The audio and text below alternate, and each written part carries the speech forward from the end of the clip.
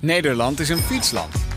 Nergens ter wereld zijn er zoveel fietsen per inwoner als in Nederland. Dagelijks worden deze fietsen gebruikt voor wonen- en werkverkeer, school, toertochten en in de sport.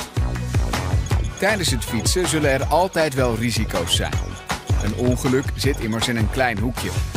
Het is dus van belang dat fietsen en beschermende middelen betrouwbaar en veilig zijn. Hoe zorgen we daar nu voor? Simpel. Daar zijn binnen de markt afspraken over gemaakt. Deze afspraken noemen we normen. Normalisatie is het proces om te komen tot een norm. Voor Nederland beheert NEN duizenden van deze normen. Andere landen hebben hun eigen normenorganisatie. Deze werken allemaal intensief samen om afspraken te kunnen maken op zowel Europees niveau als wereldwijd. Afspraken scheppen orde in de chaos. Door het gebruik van normen worden de veiligheid en de duurzaamheid van de fietsen, maar ook die van alle andere diensten, processen en producten bewaakt. NEN. Afspraken voor een betere wereld. Goedemorgen, fijn dat u kijkt naar de toelichting op de herziene versie van NEN 1010 2020. Uh, met enige vertraging zijn we hier vandaag bij elkaar, maar hij is inmiddels gepubliceerd. We gaan het vandaag hebben over de belangrijkste vernieuwende wijzigingen, de herziene hoofdstukken, de, een aantal uitbreidingen en onder andere de nieuwe nummering. Uh, dat doen we met Pauw Jongbloed, normcommissielid NEC 64 en docent. Fijn dat je er bent, Pauw. Ja, goedemorgen. Allemaal. Goedemorgen. Ja. Uh, voor de kijkers thuis, ik ben Laureen en ik zal vandaag uh, de sessie voor u leiden. Het programma ziet er als volgt uit. We zitten nu natuurlijk bij de opening. Daarna gaan we meteen de diepte in. De wijzigingen van de NEN 1010 gaan we bespreken. En om half twaalf zullen we gezamenlijk afsluiten. Nou, om een beetje contact met u thuis ook te maken, hebben we een aantal polvragen. En ik wil graag de eerste polvraag voor u in beeld brengen, want wij horen graag wie u bent. U kunt kiezen uit installateur, inspecteur, fabrikant normcommissielid of anders. Dat wij een idee hebben wie er allemaal in het publiek zitten. Dus stemt u mee heel graag. En als u anders uh, aankruist, dan kunt u via de chat laten weten wie u dan bent, wat u doet. En dat komt dan hier bij ons uit in de studio. Die chat die kunt u ook gebruiken voor al uw vragen. En belangrijk om te weten, wij zijn vandaag bij elkaar met ongeveer 2200 mensen. Dus u kunt hopelijk begrijpen dat wij niet op al uw vragen antwoord kunnen geven. Dus wij gaan ons beperken tot de normvragen. We zullen geen antwoord geven op technisch-inhoudelijke vragen. En al uw vragen gaan eerst via onze moderatoren achter de schermen. Dat zijn Rianne Boek, Peter Welleman en Goffe Schat. En zij zullen een selectie maken voor de vragen die hier bij ons in de studio uitkomen. Nou, inmiddels kunnen we in beeld brengen uh, wat u gestemd heeft. Veel installateurs, zo te zien 42 procent. Veel mensen anders ook, laat dat vooral weten via de chat. En wij hebben eigenlijk nog een vraag voor u. En dat is wel een belangrijke natuurlijk, Paul. Wij willen graag weten of u al de nieuwe norm heeft ingezien. Een hele simpele ja-nee vraag. Dus ook die tweede poll die gaan we voor u openen. Heeft u hem al ingezien? Want ja, wij kunnen wel hier natuurlijk alles gaan vertellen. Paul, wat verwacht jij? Hoeveel mensen zullen al gelezen hebben? Uh, ik denk, ik schat ongeveer 10 procent. 10 procent, want anders Van zou je... de deelnemers nu. Ja. Precies, ja, want de rest zit hier natuurlijk gewoon om te kijken waar het dan allemaal over gaat. Heel logisch. Uh, voor u goed om te weten, u hoeft niet mee te schrijven, want deze PowerPoint, deze uitgebreide PowerPoint, uh, die is straks ook te downloaden op de NEN-website. En u kunt dit webinar ook nog terugkijken. Dus maak daar gewoon gebruik van. Ondertussen kijk ik of de tweede polstand binnen is. Zo 17% heeft de NEN al ingezien, dus dat is een hartstikke fijne. Boven verwachting? Ja, eigenlijk wel. Want het is toch een heel boekwerk om even in te zien. Dus het is toch wel, uh, ja, daar moet je wel lef voor hebben. Dus Ja. oké, nee, heel goed. Nou, voordat we gaan starten, Paul, misschien voor de mensen die jou nog niet kennen. Je zit in heel veel normcommissies. Zou je jezelf even willen introduceren? Oké, nou, e- even heel kort dan. Hè. Ik Ja. doe inderdaad heel veel normwerk. En ik zit natuurlijk eh, in heel veel verschillende commissies. Onder andere natuurlijk die van NSC 64. Die gaat onder andere over de 1910. Maar voor de rest ook, zowel in Nederland als in het buitenland, in allerlei soorten normcommissies of werkgroepen. Die zich bezighouden met het maken van normen. Nou, daarnaast natuurlijk allerlei projecten op het gebied, hè, voor 1910 bijvoorbeeld. Van datacentrales tot ziekenhuizen, tot bruggensluizen, tunnels etc. en woningen.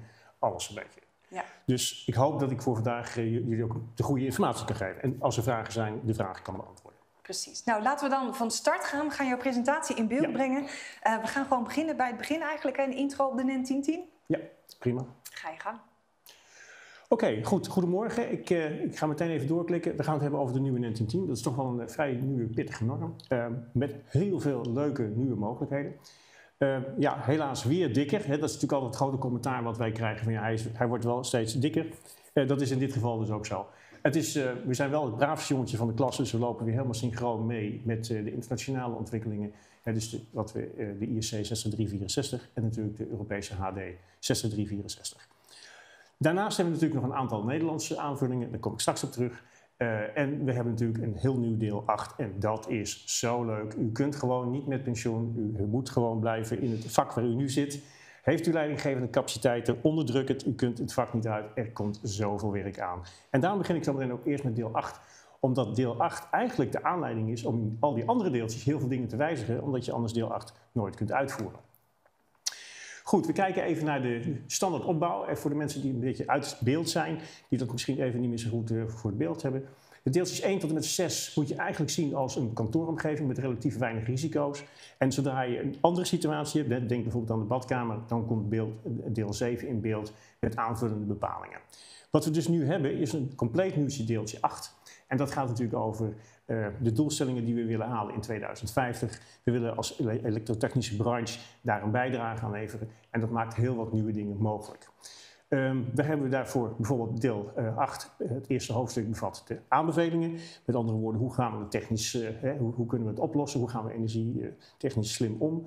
Deel 2 is hoe ga je een, een zeg maar, een, gaan we het hebben over prosumers. Dat is een combinatie van iemand die zowel energie gebruikt als dat hij terug gaat leveren. En hoe zitten die installaties in elkaar? En het laatste stukje gaat over de communicatie. Maar dat komt vanzelf aan de orde. Goed, we weten allemaal eh, dat we dat klimaatakkoord eh, willen halen. Ursula heeft ons dat eh, verteld dat dat toch wel de doelstelling is bij haar aantreden.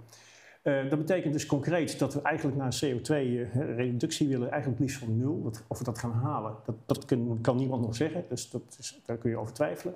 Maar we zijn er wel mee bezig. Dat betekent dat ISC breed, eigenlijk een technisch uh, report, hè, wat wij in Nederland een NPR zouden noemen, gemaakt heeft. Van hoe zou dat dan kunnen?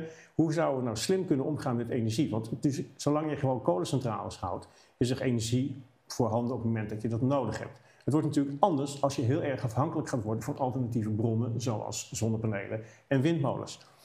Als dat percentage klein is, zul je niet zo gauw daar merken dat bijvoorbeeld er geen wind en geen zon is. Maar op het moment dat dat percentage heel groot gaat worden, zul je echt heel veel dingen moeten doen. En dan zou het zelfs zo kunnen zijn dat je een beroep moet doen op de huishoudens die bijvoorbeeld een accusysteem hebben of de bedrijven die een accusysteem hebben. Om dat hele stuk op te tuigen is dit plaatje gemaakt uh, door eh, ISC.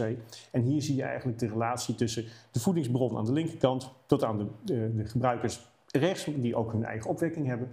En de hele koppeling, datakoppeling die erboven hangt. Als je dit plaatje kunt lezen, vind ik echt heel knap, want dat is niet de bedoeling. We komen vanzelf op bepaalde onderdelen terug. Maar dan heeft u in ieder geval al een plaatje gezien. Natuurlijk worden daar heel veel normen voor eh, ontwikkeld. En het heel, wat echt een van de leukste dingen is voor vandaag natuurlijk, is dat op componentniveau die gebruik wordt gemaakt van de IEC 63364. En dat is in Nederland dus de NEN 1010. Oké, nou, wat is nou die doelstelling van deel 8? Omdat als je die doelstelling van deel 8 begrijpt en daar ook mee kunt werken, begrijp je ook waarom er wijzigingen nodig zijn in de deeltjes 1 tot en met 6. Want als je dat niet doet, dan kun je die doelstelling never nooit bereiken. Goed. Belangrijk is dus uh, het laagste energieverbruik. U ziet de rode teksten. Ik ga ze niet allemaal oplezen. Het is niet interessant. Je kunt die thuis nog een keer nalezen. Verminderen van verliezen. Uh, slim omgaan met energie. Wat sla je op? Wat ga je niet opslaan? Wat is je eigen opwekking? En vergeet niet de rendementscontrole. Dus je ziet hier een soort stok achter de deur, hè? net een soort een beetje rekening rijden. Uh, we weten dus van hoeveel energie mensen, partijen gaan opnemen. En we gaan dat vergelijken met anderen die soortgelijke dingen doen om te kijken van wie is daar nu slimmer bezig. Het geldt zowel voor nieuwe als voor oude installaties en met name ook renovaties. En het doel is natuurlijk een hoger rendement. Goed, daarvoor hebben we een, uh, over de hele levensduur vastgesteld dat je een rendementscontrole gaat doen. En uiteindelijk is de EE5 dan de hoogste stage die je kunt bereiken, maar dat neemt niet weg dat het niet ooit een EE6 zou kunnen komen. Daar komt later over daar wat meer. Goed, we gaan kijken hoe we dat dan technisch gaan doen, want het is natuurlijk bijzonder interessant om dat te kijken hoe dat gaat werken.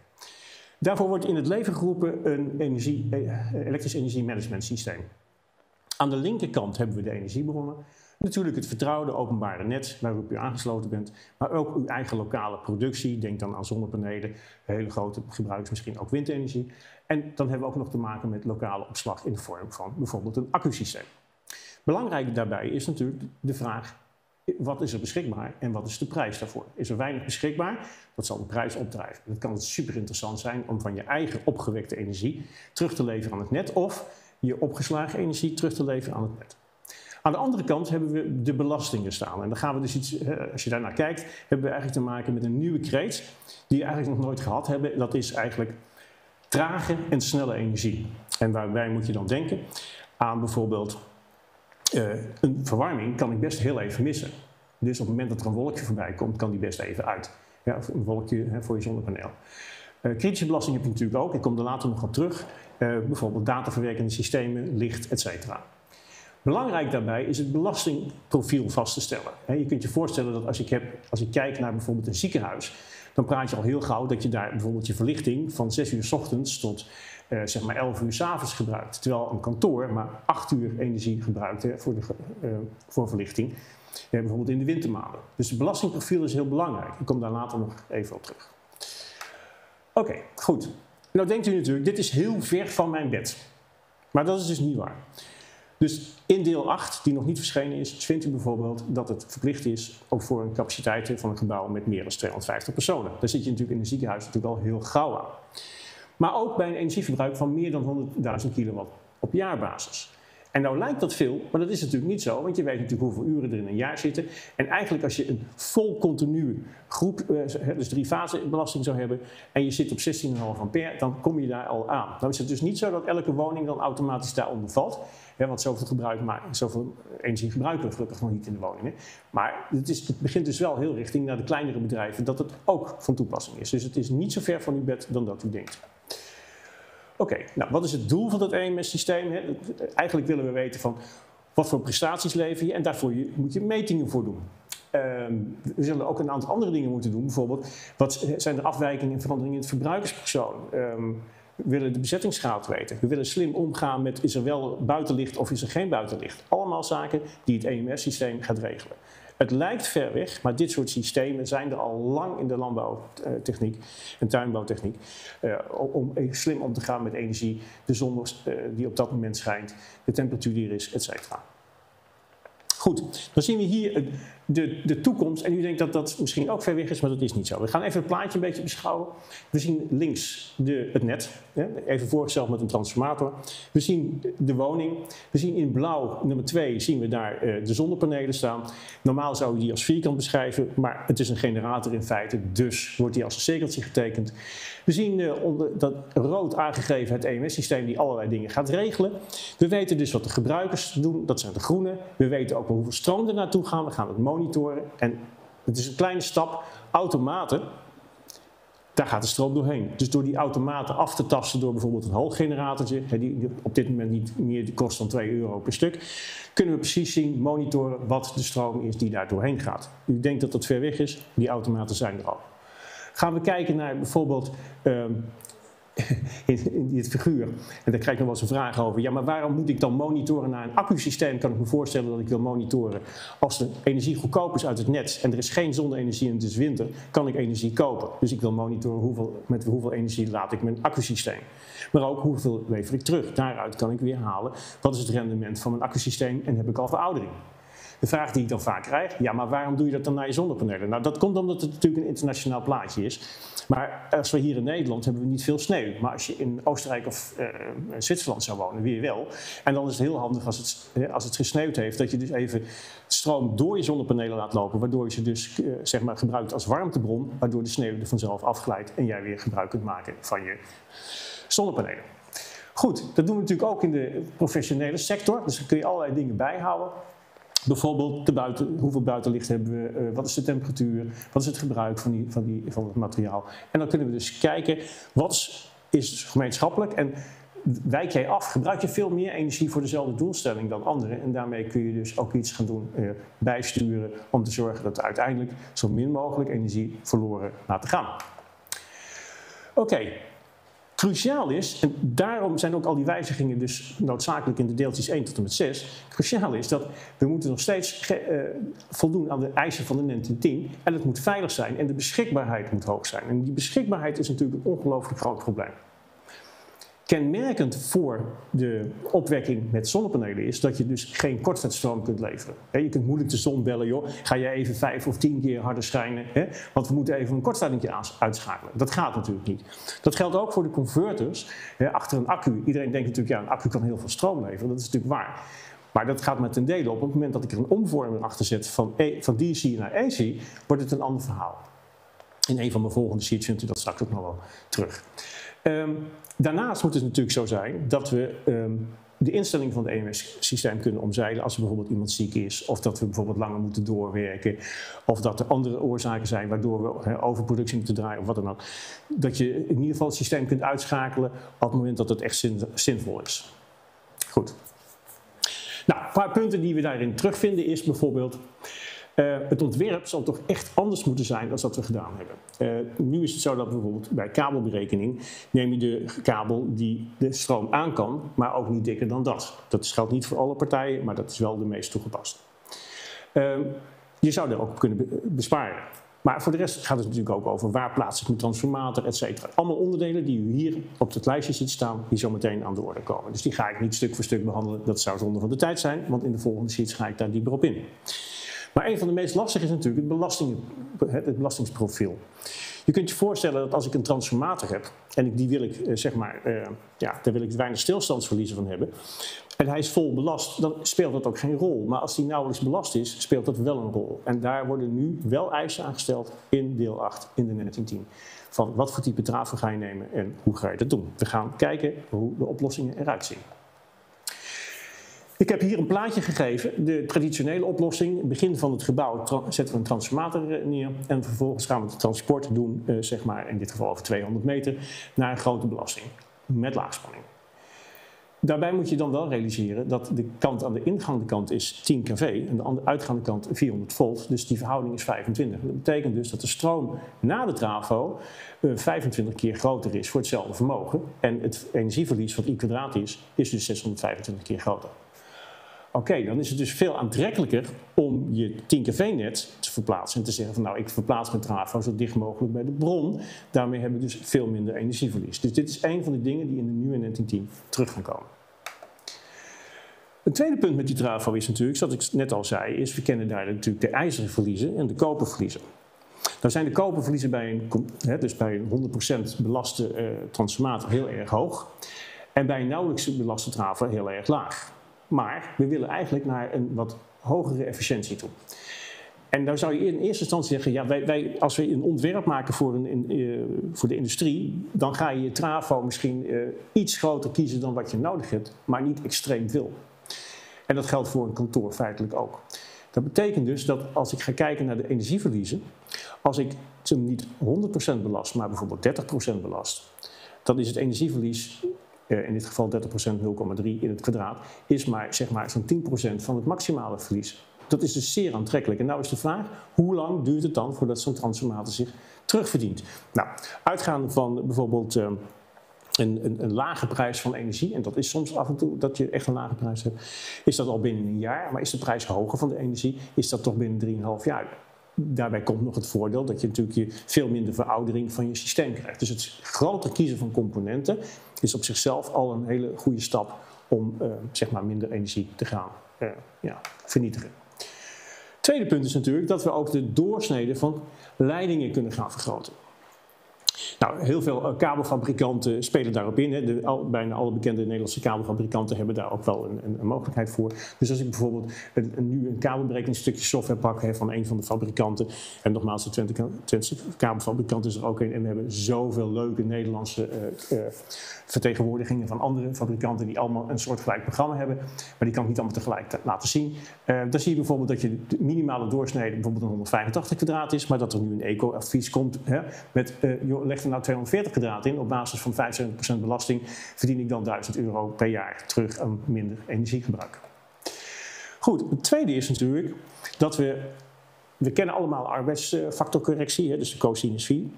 Um, En die kennen we omdat energiebedrijven u ook extra geld vragen als u een slechte cosinus 4 heeft. bijvoorbeeld door motoren. Nou hebben we over het algemeen altijd gezegd van ja, um, wij willen dus een goede cosinus 4 en dan gaan we wel een condensatorbatterij toepassen. Wat hier in dit plaatje eigenlijk staat is dat als ik bijvoorbeeld veel motoren heb, dan, dan is de, de, stroom als het ware na-eiland. Je moet dat zien als een tuinslang. Ja, op het moment dat je een tuinslang hebt, je zet de kraan open, dan is het niet meteen zo dat aan het einde van die slang meteen volle bak eh, water is. Zet ik hem weer dicht, dan zie je bijvoorbeeld bij de sproeien dat die langzaam in elkaar zakt. Dus die loopt een beetje achter op de spanning. Dat betekent dus als ik nu naar de topwaarde kijk van de spanning en van de stroom, liggen die niet gematcht. En eigenlijk wil ik een bepaald vermogen hebben en dan zou ik dat wel gematcht willen hebben. Dus eigenlijk kijken naar het bierglas. Ik wil eigenlijk het biertje kunnen drinken. Maar voor het transport heb ik dus het schijnbare vermogen inclusief dat schuimkraagje. Dus dat betekent als ik dat terug kan brengen, kan ik daarmee heel veel energie besparen. Nou deden we dat wel, maar dat deden we alleen omdat we dan goedkope contract konden krijgen bij energiebedrijven. En dat is dus nu iets anders. Dus wat we nu gaan doen is dat we het niet alleen maar daarvoor doen, maar dat we het daar positioneren, die cosinus batterij, waar die ook ontstaat. En dat betekent dat de verliezen in de installatie tot aan het object een stuk kleiner zijn. Goed, dan hebben we er zelf ook nog wat aan. Nou, nu uh, Kreet, Zonne en Mazen. Dan moet je denken aan hoe kunnen we nou een compleet gebouw op een wat slimmere manier aansturen, zodat we minder energiegebruik hebben. Nou, een van die dingen, leuk die tekst, maar kijk even naar een plaatje, dan krijgt u een indruk. Hier heeft u zo'n zo plaatje. U ziet hier een hoekgebouw van, van een heel groot gebouw. Bovenaan zitten ramen, aan de linkerzijkant zitten ramen, de andere kanten zitten dicht. Het is, ligt dus voor de hand dat als ik een verlichtingsregeling heb, dat ik die verlichtingsregeling zo maak dat ik gebruik maak van mijn daglicht. Dus je ziet hier dat ik dus mazen gebruik voor die daglichtregeling, maar dat ik een zone heb van bijvoorbeeld kantoren. Dus linksbovenin met één grote zone voor kantoren, onderverdeeld in twee mazen die ik apart aanstuur. En daarmee kan ik dus een hele hoop energie eh, besparen als er voldoende buitenlicht is. Oké. Ander onderwerp is natuurlijk die vraagsturing. Wat is de vraag en de aanbod van mijn e- energie? Op het moment dat ik meer vraag heb dan aanbod, gaat mijn netspanning zakken. En als mijn netspanning zakt, betekent dat dat motoren meer stroom gaan gebruiken. Dat betekent dat de spanning nog verder zakt en op een gegeven moment hebben we geen net meer. We hebben nu een waanzinnig stabiel net. Maar hoe groter het percentage alternatieve energie gaat worden, hoe beroerder dat wordt. Dus er zullen absoluut dingen gevraagd worden als stabiliseer nou eens, die, zorg ervoor dat je buffers hebt die je bij kunt zetten op het moment dat je dat nodig hebt. Nou, daar gaan we even naar kijken hoe dat dan uit gaat zien. Nou, u ziet hier een eh, plaatje waarbij we dat even iets meer ingevuld hebben. U ziet weer datzelfde EMS-systeem staan die allerlei dingen voor ons gaat regelen. En aan de linkerkant zien we natuurlijk het weer het net. We zien daar de PV-installatie, we zien de, natuurlijk onze batterijeninstallatie. En ehm, we zien natuurlijk ook een wolkje met zon. Nou, door de koppeling met ons net, ons dataverkeer, kunnen we dus weten van hey, wanneer komt dat wolkje voorbij. En dan kunnen we dus gaan kijken van wat zou het EMS-systeem kunnen uitzetten om dat op te vangen als we afhankelijk zijn van de PV-zet. Nou, dan zie je bijvoorbeeld dat je een keuze kunt maken uit trage energie. Denk aan de airco, denk aan de warmtepomp, de koelkast. Eh, je kunt even beslissen dat je zegt, nou ik stop heel even met laden van mijn auto. Maar het uitschakelen van verlichting en de data is natuurlijk niet zo'n goede optie. Omdat je dan ook meteen geen informatie meer krijgt uit dat net. En dat wil je wel heel graag hebben.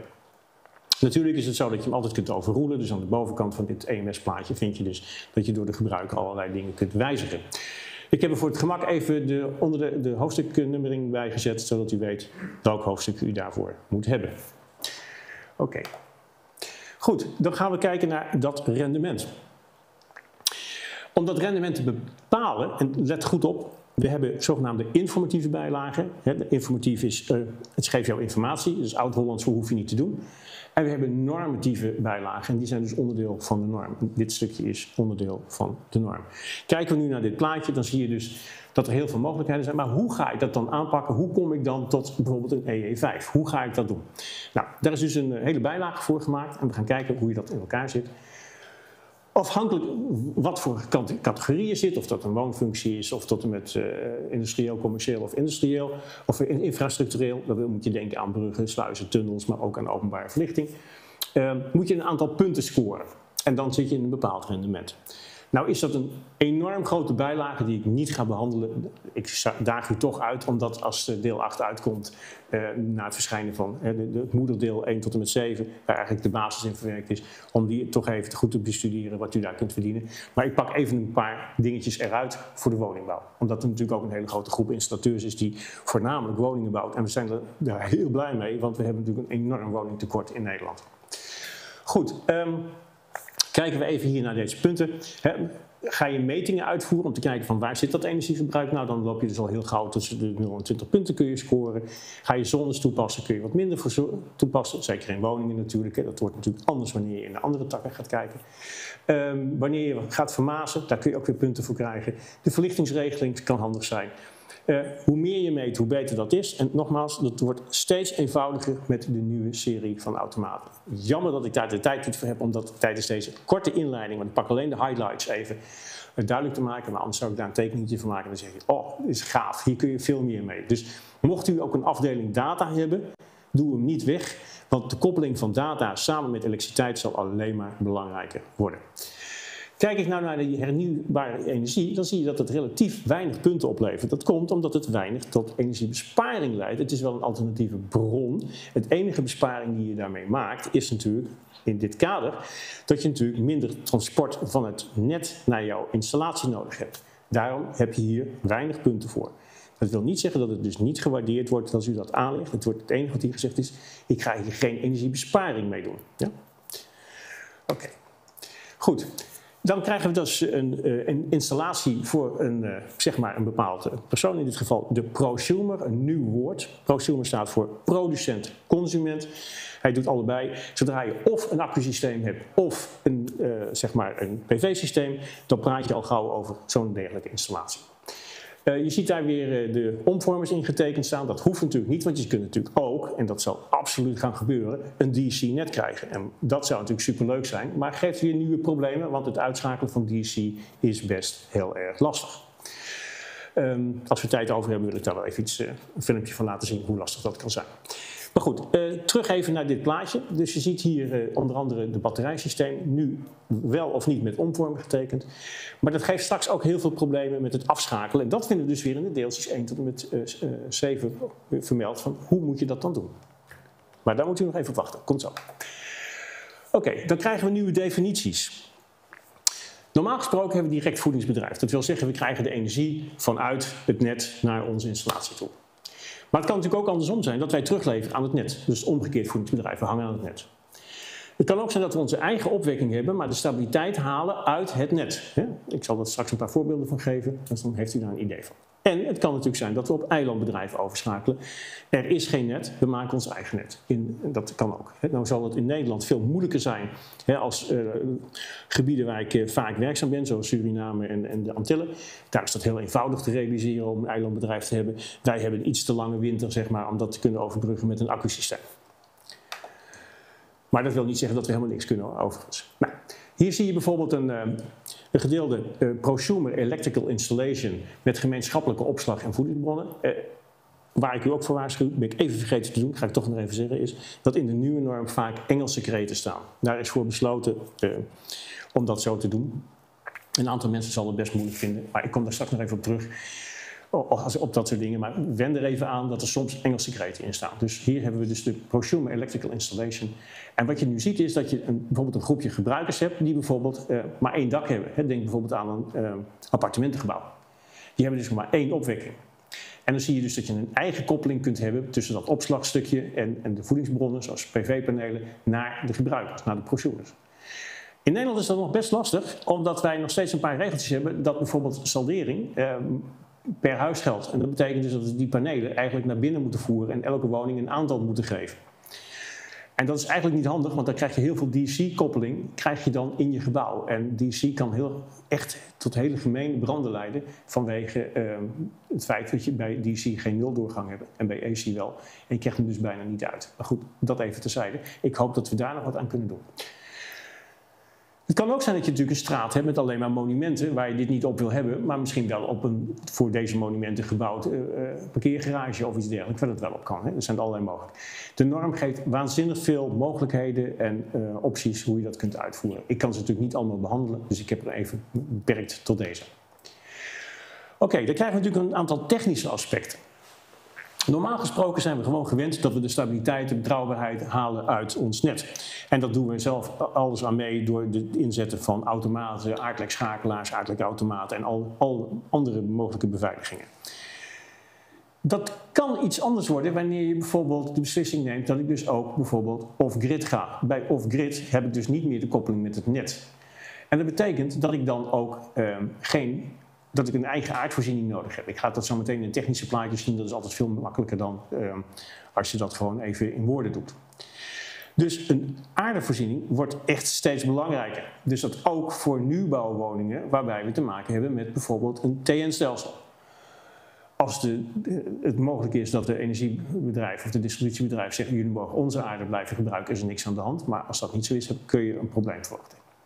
Een ander ding, en dat is echt heel vervelend, en daar ga ik wat dieper op in, is natuurlijk dat overstroomtoestellen, zoals bijvoorbeeld een B16-automaat, de B staat voor 3 tot 5, dus worst case, slechtste geval 5 keer 16, heeft 80 ampère nodig om te kunnen afschakelen. Dat ga je met bijvoorbeeld alternatieve energiebronnen heel moeilijk halen, zeker in een woning. Dat, dat kom je gewoon niet aan vast. Nou hebben we vastgesteld dat van alle storingen die er zijn, is de grootst optredende groep kortsluitingen niet tussen fase, fase of fase 0, maar tussen fase aarde. Dus ongeveer 80% Amerikaans onderzoek. Dat kun je op een andere manier afvragen, dus, maar dan moet je wel gaan nadenken over die minimale foutstroom, die dan zo belangrijk gaat worden.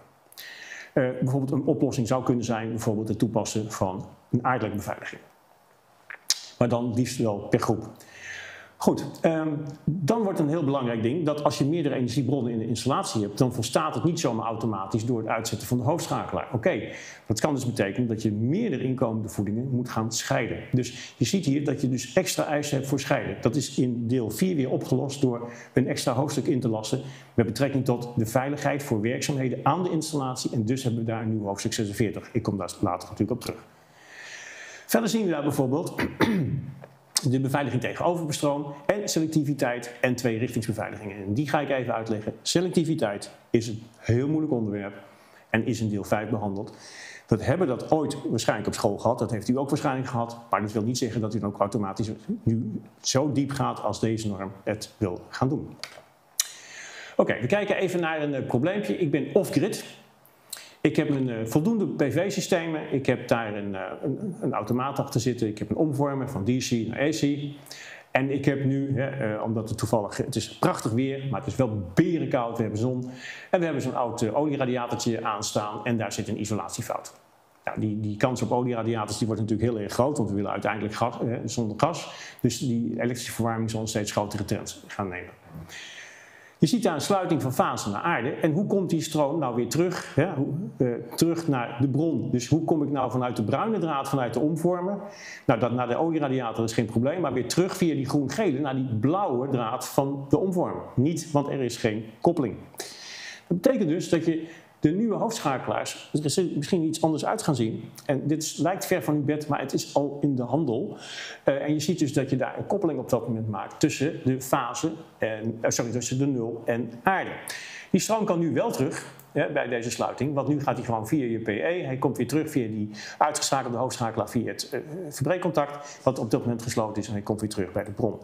Allemaal geregeld in de nieuwe NetInteer. Hier ziet u zo'n voorbeeldje hè, waarbij het wel belangrijk is dat de, nul, de schakelaar voor zijn nul wel onderbroken is in de tussenstand.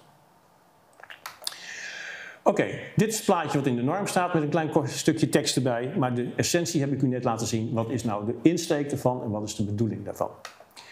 Goed, hier zie je dat soort uh, schakelaars en uh, omschakelapparatuur die gewoon uh, commercieel voorhanden is. En dan moet je helemaal niet denken aan hele hoge bedragen, want zo duur is dit materiaal allemaal niet. Oké, beschermingstoestel. Dus dat is natuurlijk een heel belangrijk onderwerp. Als er iets fout gaat in de installatie, de NEN 1010 zegt het moet net zo veilig zijn als voorheen in welke bedrijfstoestand dus ook. Dus of net gekoppeld, of dat je op, eh, bijvoorbeeld op jezelf draait. Dan moet het nog steeds veilig zijn. En nou is bij netbedrijven natuurlijk nooit een probleem. Er is meer als voldoende kortstroom beschikbaar. Dus die, al die beveiligingen die we altijd bedacht hebben, die gaan ook dan werken. Geen probleem.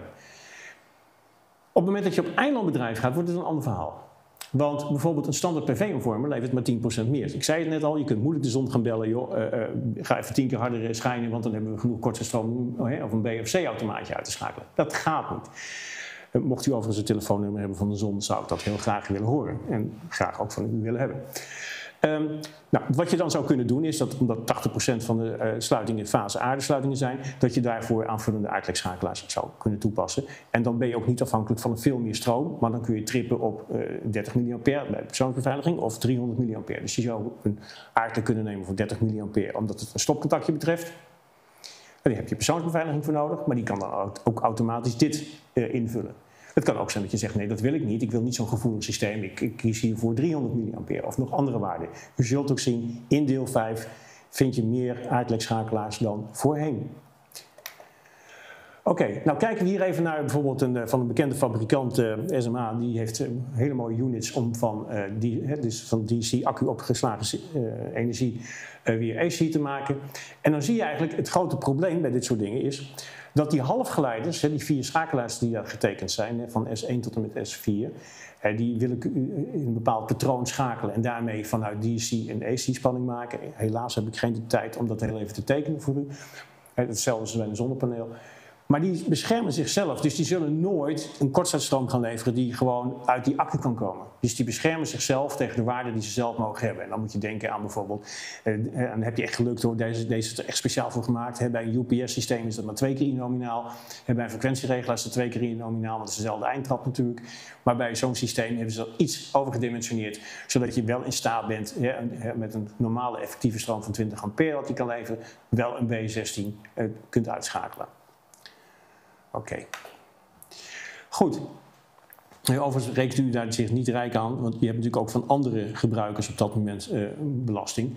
En die kortstijdstroom voor die B16 komt er dan nog eens even bij. Uh, zoals ik al zei, de beveiliging moet in alle bedrijfsmodi kunnen functioneren, dus ook off-grid. Um, en bijzondere aandacht is natuurlijk die automatische afschakeling voor een oudvat. Goed. Um, het tweede ding is natuurlijk dat we um, ook tussen kabels onderling kunnen hebben. Dus stel je voor dat je op een, uh, op een flat bijvoorbeeld, uh, uh, ja, of op een kantoorgebouw of een industrieel pand, heel veel PV-systemen hebt, panelen hebt liggen. En dat je daar misschien ook wel een accusysteem hebt, maar ook gebruikers hebt staan. Dan kan er nog iets heel anders gebeuren. En dan krijg je te maken met een tweerichtingsbeveiliging. Daar, kom, daar eindig ik mee met dit stukje. We zien hier een gewone installatie. Dat kan ook een woning zijn, zoals u ziet. En we, eh, we, zijn net gekoppeld, de D40-automaat staat in. Um, ik heb een sluiting in mijn groene toestel, in het linkerplaatje. En die moet worden afgeschakeld naar aarde. En ik heb daar een korte stroom van, laten we zeggen, uh, voor nodig. Worst case, slechtste geval van 80 ampère. Nou, mijn PV-systeem doet een beetje mee. Uh, mijn eigen opwekking met, met accu's doet een beetje mee. En de rest wordt gewoon geleverd door het net en hij schakelt gewoon af. In het rechterplaatje zijn we niet gekoppeld aan het net neem even aan dat die D40 open staat. Ik heb nog steeds diezelfde 80 ampère nodig, maar die kan niet geleverd worden. Wat gebeurt er op dat moment? Er gaat niet één automaat uit, maar de halfgeleiders worden automatisch uitgeschakeld in de omvormers en de netspanning is dus nul. Dat betekent dus ook dat mijn datakoppeling met het net wegvalt. Je ziet hier dat dit een serieus probleem is. Ik voldoe hier niet aan de net 10, dus ik zal naar een andere oplossing zoeken. Het verhaal van de flat waar ik het net over had, of een, een, hoger gebouw, het kan een industriepand zijn of een kantoor, vinden we hier. Ik heb een sluiting in een kabel van de hoofdverdeler beneden in het gebouw naar boven. En die sluiting wordt vanaf de kant van het net heel makkelijk afgeschakeld, omdat ik dan voldoende kortsluitstroom heb. Maar dan heb ik nog steeds een sluiting in die kabel. En dat betekent dus dat mijn, om, dus mijn eigen opwekking gaat terugleveren aan diezelfde kabel dan moet hij er ook uit. Maar die kan niet veel kortsluitstroom leveren. Dus dat betekent dat die, automaat die daar onderin zit, die 9-2, die moet dus heel gevoelig zijn en die moet dus eerder trippen. Maar tegelijkertijd, als er geen sluiting is en ik heb geen zonne-energie, ik heb een lege accu en ik heb toch energie boven nodig, moet hij wel in staat zijn dezelfde stroom te voeren die uh, uh, nodig is voor die hele afdeling. En dus geleverd wordt door die automaat 9.1. Dat betekent dus dat hij in twee verschillende richtingen een ander effect moet hebben. Dus we krijgen nu te maken met twee richtingsautomaten. En ik denk dat u daar in de laagspanning althans nog niet veel mee te maken gehad heeft. Goed, um, ik hoop dat ik u een beetje indruk gegeven heb van wat er gaat veranderen. En dat is de aanleiding dat dus in de deeltjes 1 tot en met 7 heel veel aanpassingen nodig zijn. We hebben gezien dat we veel gevoeligere installaties nodig hebben als het gaat over de detectie van fouten en afschakeling. Dat we meer veiligheid nodig hebben met betrekking tot afschakelen. Dat wordt in deel 4 geregeld. Dat we eisen hebben met betrekking tot selectiviteit om de installatie in bedrijf te houden. Allemaal in deel 5 geregeld. Kortom, er staat u nog heel wat te wachten en dat gaan we zo meteen voor u doen. Ik geef toch weer even het woord terug aan Laureen? Ja, ik kijk even naar de chat. Uh, er zijn wat vragen voor je binnengekomen. De eerste is, vanaf wanneer geldt de eis dat er een EEMS is als de nieuwe NEN 1010 in het bouwbesluit opgenomen is? ja, dat, dat, is natuurlijk even de vraag. Hè. Uh, het bouwbesluit heeft uh, zeer deskundige mensen in dienst. En normaal gesproken is het zo dat als een, een nieuwe norm verschijnt, mag je die al toepassen voordat die wordt aangewezen door het bouwbesluit. Um, dat heeft het, heet het gelijkwaardigheidsbeginsel uit het bouwbesluit. Tegelijkertijd moet je ook vaststellen dat het bouwbesluit, de mensen daarvan, niet altijd de hele norm aanwijzen. Dus bijvoorbeeld bij de huidige uh, 1910 is slechts ongeveer een derde is aangewezen door het bouwbesluit. Alles wat met betrekking tot veiligheid te maken heeft. Dit is niet direct veiligheid, maar wees daar ook een beetje mee oppassen. Want het is natuurlijk wel een politiek doel om al die energievoorzieningen en die energiezuinige installaties te gaan maken. Dus het zou me niet verbazen als het ook komt. Ik durf er nu nog geen volledige ja op te zeggen. Is dat het antwoord op de vraag? Dat is denk ik een goed antwoord op de vraag. Uh, de laatste vraag. Het EMS wordt hier gepresenteerd als systeem voor één woning. Ik zag net ook een, een geschakelde versie. Maar we zien in de praktijk dat er met deze systemen voor meerdere woningen worden verbonden. Uh, waar de netbeheerder vaak bezwaar tegen heeft. Het schijnt niet te mogen volgens de netcode. Geeft de NEN 1010 richtlijnen voor de verbinding van meerdere meerdere aansluitingen van een eigen installatie, via de eigen installatie?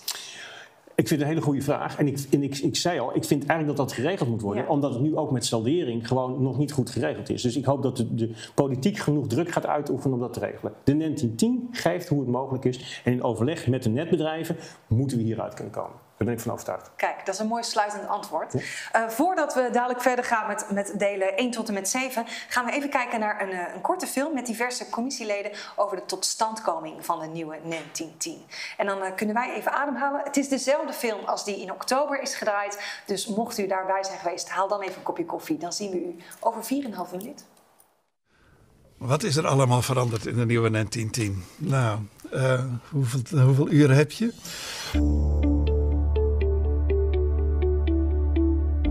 Ja, er, eh, is uh, redelijk wat tijd gaan zitten in het maken van die Nente 10. Uh, met die corona ook het gebeuren dat we zeg maar, ook op een gegeven moment digitaal gingen vergaderen. Met deze versie zijn we twee volle jaren bezig geweest. En dan moeten we ons nog reppen om de, de deadline die we onszelf hebben gesteld te halen. Waar ben ik het meest trots op? Dat is een mooie vraag. Ik vind um, eigenlijk het wel heel bijzonder dat ik vanuit mijn niche-rol, want overspanning en bliksem is maar een heel klein stukje van het werk wat de NTT doet, dat ik toch eigenlijk daar een stukje uh, input op kunnen geven. Op um, terminologieën, uh, vaktermen heb kunnen toetsen of alles klopte, ook aanvullingen heb kunnen geven, zodat het voor de markt ook een werkbaar document geworden is. Nieuwe 1910 is duidelijker geschreven voor de installateur wanneer en hoe overspanning beveiliging toe te passen. We hebben het harmonisatiedocument van Europa. We hebben onze Nederlandse bepalingen. En hoe vinden we daar nou de goede balans in? Welke bepalingen kunnen we eruit halen ten opzichte van het Europa? En welke bepalingen en hoe gedetailleerd moeten we erin houden of inzetten? Daar zijn we nog intensief doorheen gegaan. Grote delen zijn herschreven.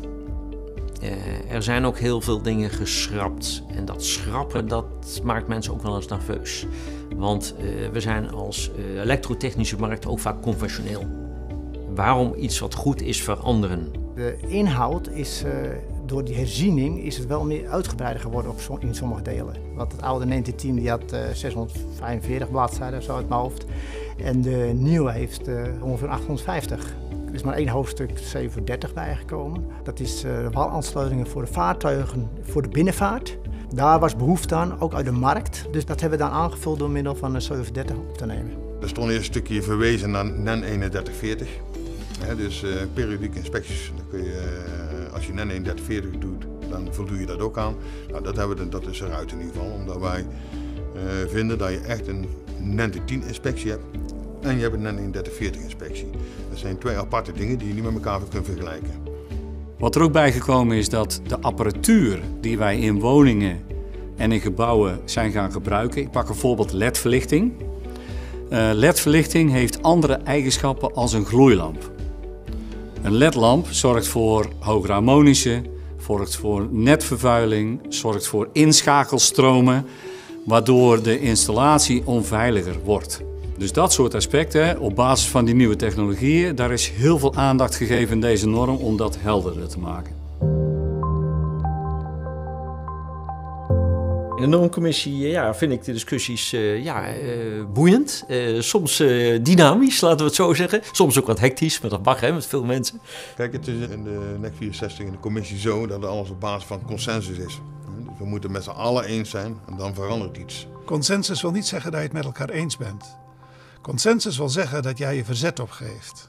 Dus je kunt je erbij neerleggen, ook al had je liever een andere uitkomst gewenst. Ja. ja de de definitie van goppen is zeg maar, dat je als je consensus hebt, dat je niet uh, alle twee gelijk hebt. Maar dat de een zeg maar, uh, water bij de wijn doet en daardoor zeg maar, mee eens kan zijn dat de ander ze gelijk krijgt. Water bij de wijn doen is op technologie niet verstandig. Ja? Je kan niet zeggen, we hebben een discussie over een, uh, over een airbag in een auto. Nou, doe maar een halve airbag, want dan hebben we consensus. Dat werkt niet. Je moet wel heftig discussiëren. Je kan niet zomaar zeggen, nou ja goed, het zal wel. Nee, argumenten uitwisselen. Met discussies dan, gaat het wel eens eh, flink tegenaan, stevig weet je wel. En, uh, maar ik vind dat wel heel goed dat naar de rand gewoon ook weer de partijen bij elkaar staan. Gewoon weer een praatje maken, gewoon lachen. Waar ben ik trots op? op het feit dat wij uh, na een vergadering gezellig met z'n allen toch nog steeds een biertje kunnen drinken. De meeste trots ben ik gewoon door het feit dat ik deelgenomen heb in de commissie. Uh, en met deze uitgave weet ik dat ik ook zelf werk met de nieuwe NT10. Voor mij is het de Bijbel der techniek. Ik uh, verheug me er ook op het weer uh, die kennis te delen hè, binnen de afdeling. Dat vind ik wel belangrijk. Iedereen die zich bezighoudt met uh, aanleg van elektrische installaties of het ontwerp ervan, die moet gewoon een NT10 hebben.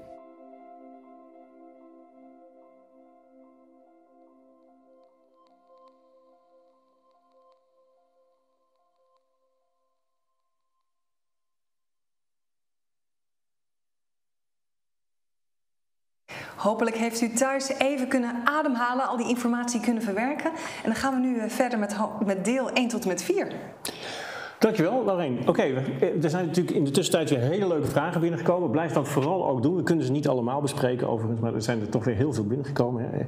Een, punt van zorg was even van, god, moeten we nu zo meteen, uh, is het misschien beter om alleen nog maar aardlekautomaten te gebruiken? Dat laat ik aan u over. U bent creatief genoeg om hele goede ontwerpen te maken. Uh, ander punt van aandacht was natuurlijk van, goh, schakelt er niet sommige dingen automatisch uit als de netspanning wegvalt? Ja, bij de huidige converters is dat wel zo. Maar als ze ook geschikt gemaakt moeten zijn voor bijvoorbeeld off-grid installaties, is dat dus niet zo. Goed, we gaan starten met het eerste stukje. En ik laat u af en toe eh, ook even de hint zien naar van, uh, waar in het deel wat ik al besproken heb uh, de koppeling zit. We gaan gewoon starten. Nou, een paar dingen die hebben we even aangepast. Hè. Er zijn wat andere woorden. We hebben wat meer standaardisering in de woorden. Dat is alleen maar goed, want dat maakt de leesbaarheid natuurlijk een stuk beter. Um, zodra we het over kabels en, en, draad in buis hebben, dan praten we gewoon over leidingen. Hebben we het over een aluminiumgeleider of een koperen, dan wordt het een ander verhaal. Dan praat je over geleider. Wat goed in de 1910 is, is dat er een kort overzicht wordt gegeven, voor, hè, dus gerangschikt in alle deeltjes, wat belangrijke wijzigingen zijn. Echter, de impact daarvan, van hoe, wat, hoe pakt dat uit in de praktijk, dat vind je daar dus niet in. En daarom probeer ik daar al een beetje een richting aan te geven van wat we doen. Nogmaals, ik heb maar heel korte tijd. Als je alle wijzigingen wil hebben, dan heb je ongeveer 430 sheets nodig om alle wijzigingen te doen. Dus je voelt aan dat we alleen inzoomen op echt hele leuke, praktische of dingen die ingrijpend zijn waar je zeker rekening mee moet houden. Oké, nou een van de dingen die, uh, waar ik heel kort over ben, is dat we nu ook voor um, uh, zeg maar de energiebedrijven, distributiebedrijven, de, de gewoon openbare verlichting valt nu onder de 1910. Daar was een kleine uitzondering voor. Daar ga ik het verder niet over hebben, maar dat hebben we opgelost. We hebben natuurlijk nieuwe termen en definities gekregen. Bijvoorbeeld, we moeten heel wat gaan doen op het gebied van selectiviteit. dus de coördinatie van elektrisch materiaal heet dat dan met een mooi woord. Daar zijn een heleboel nieuwe kreten gekomen. Die ga ik hier niet bespreken, maar die zijn er wel om u alvast een indruk te geven. Deze ziet. Oké, we blijven natuurlijk wel vastzitten aan bepaalde oude bepalingen. En die zijn zo belangrijk. We noemen dat ook wel een kapstokartikel. Als je het niet goed doet, word je daaraan opgehangen. Um, en daar zitten een paar dingetjes bij waar ik toch even bij stil wil staan, omdat dat natuurlijk ook in dat deeltje 8 geëist werd. Bijvoorbeeld, uh, je moet meerdere stroomketens hebben, dat als het een, een, defect is, dat je dus niet alles kwijt bent. Dat, dat, was heel duidelijk in deel 8 te zien. En dan moet je dus rekening houden met de beperkte hoeveelheid stroom die kan worden geleverd door die alternatieve energiebronnen. En uh, andere accusystemen. Ander dingetje is dat je natuurlijk zorgt dat de verlichting intact blijft. Dat betekent dus de bepaling dat de verlichting over twee aardleks of twee aardlekautomaten moet zijn verdeeld, die blijft gewoon gehandhaafd. Je mag niet verdwalen, je mag niet struikelen, je mag niet de trappengat af naar beneden sodemieteren, omdat er toevallig ergens een, een storing is geweest.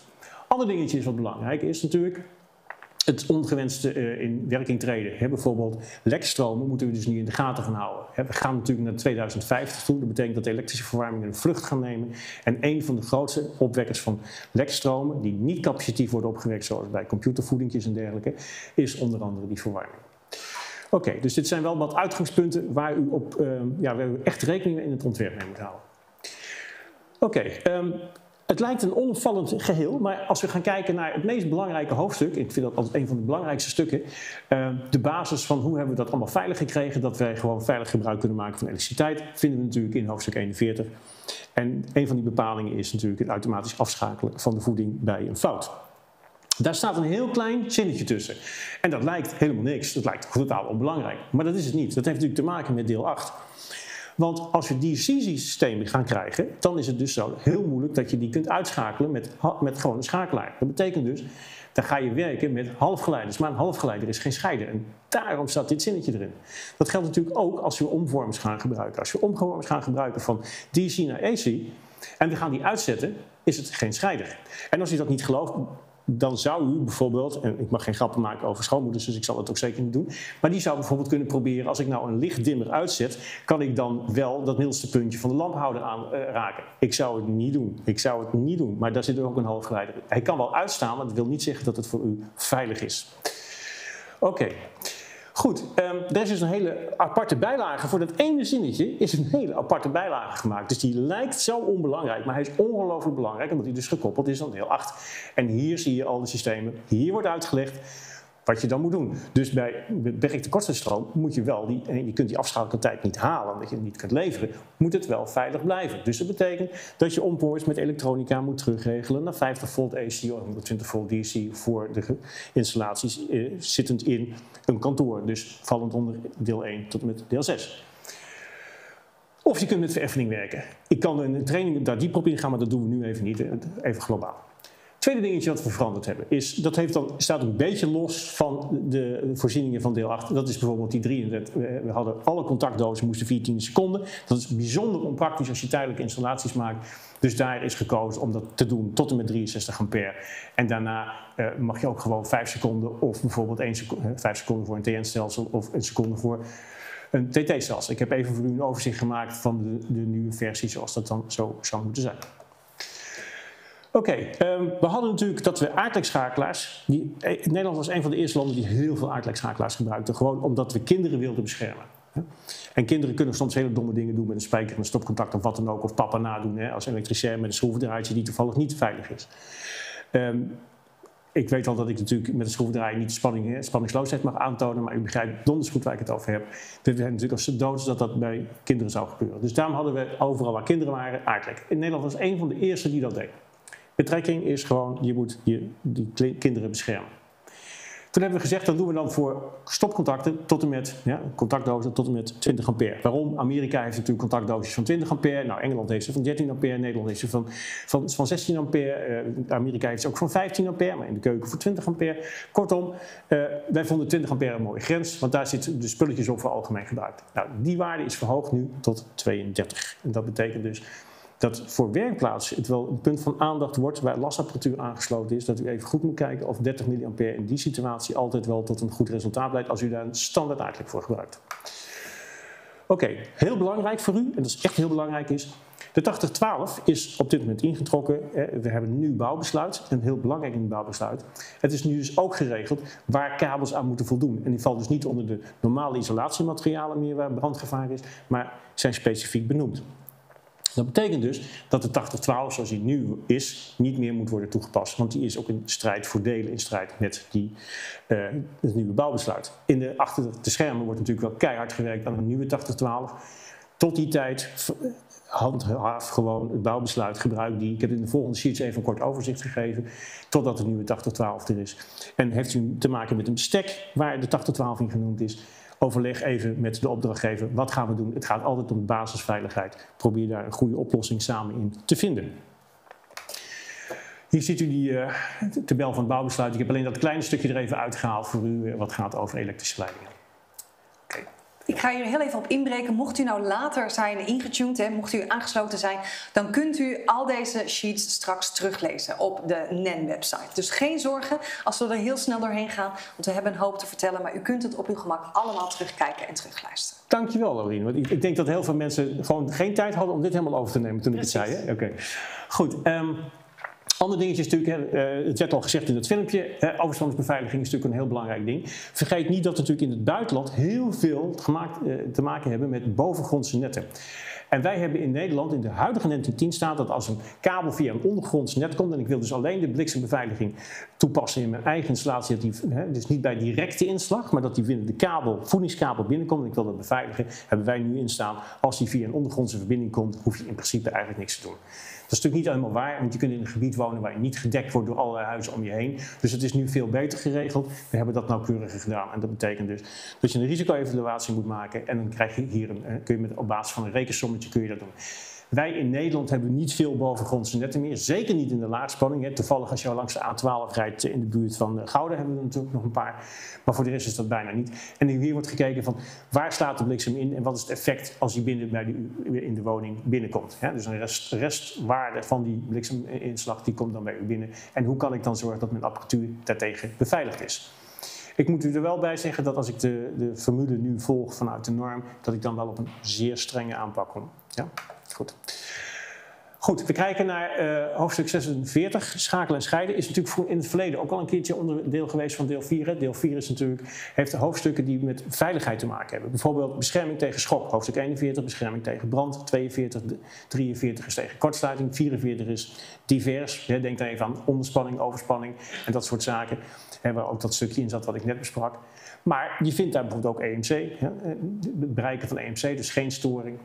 Maar er zit dus nu ook hoofdstuk 46, schakelen en scheiden met de veiligheid. Ik moet veilig kunnen werken in die installatie als ik bezig ben. En ik heb nu veel meer energiebronnen waarvan ik niet precies weet wat die gaan doen. Het is allemaal wat lastiger, die kunnen allemaal een soort eigen leven leiden. Dus daarom hebben we daar een nieuwe, is dit weer terug geïntroduceerd. Hier staat heel duidelijk in hè, dat, dat het veilig voor het gebruik moet zijn. Dat is de oude bepaling uit 1996. Lees ik de nieuwe, dan wordt het een heel stuk moeilijker. Hè, dus de te nemen maatregelen in verband met niet automatisch te plaatsen op afstand schakelen, scheiden, et cetera. Ja, het wordt een heel stuk ingewikkelder dan dat het was.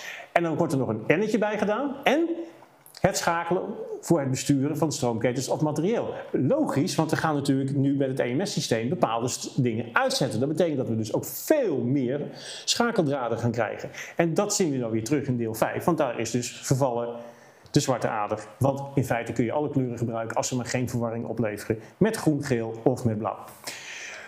Oké, um, goed. Dan gaan we even verder. Um, het is natuurlijk wel een strengere eis gekomen met betrekking tot de nul. Um, dat heeft natuurlijk ook te maken dat we eventueel off-grid moeten werken.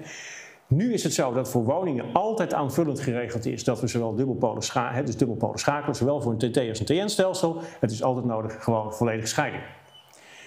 Dat was in een kantoor met een TN-stelsel eigen trafo niet het geval. Het werd weinig gebruik van gemaakt, maar daar werd wel eens enkelpolig geschakeld en dat mag.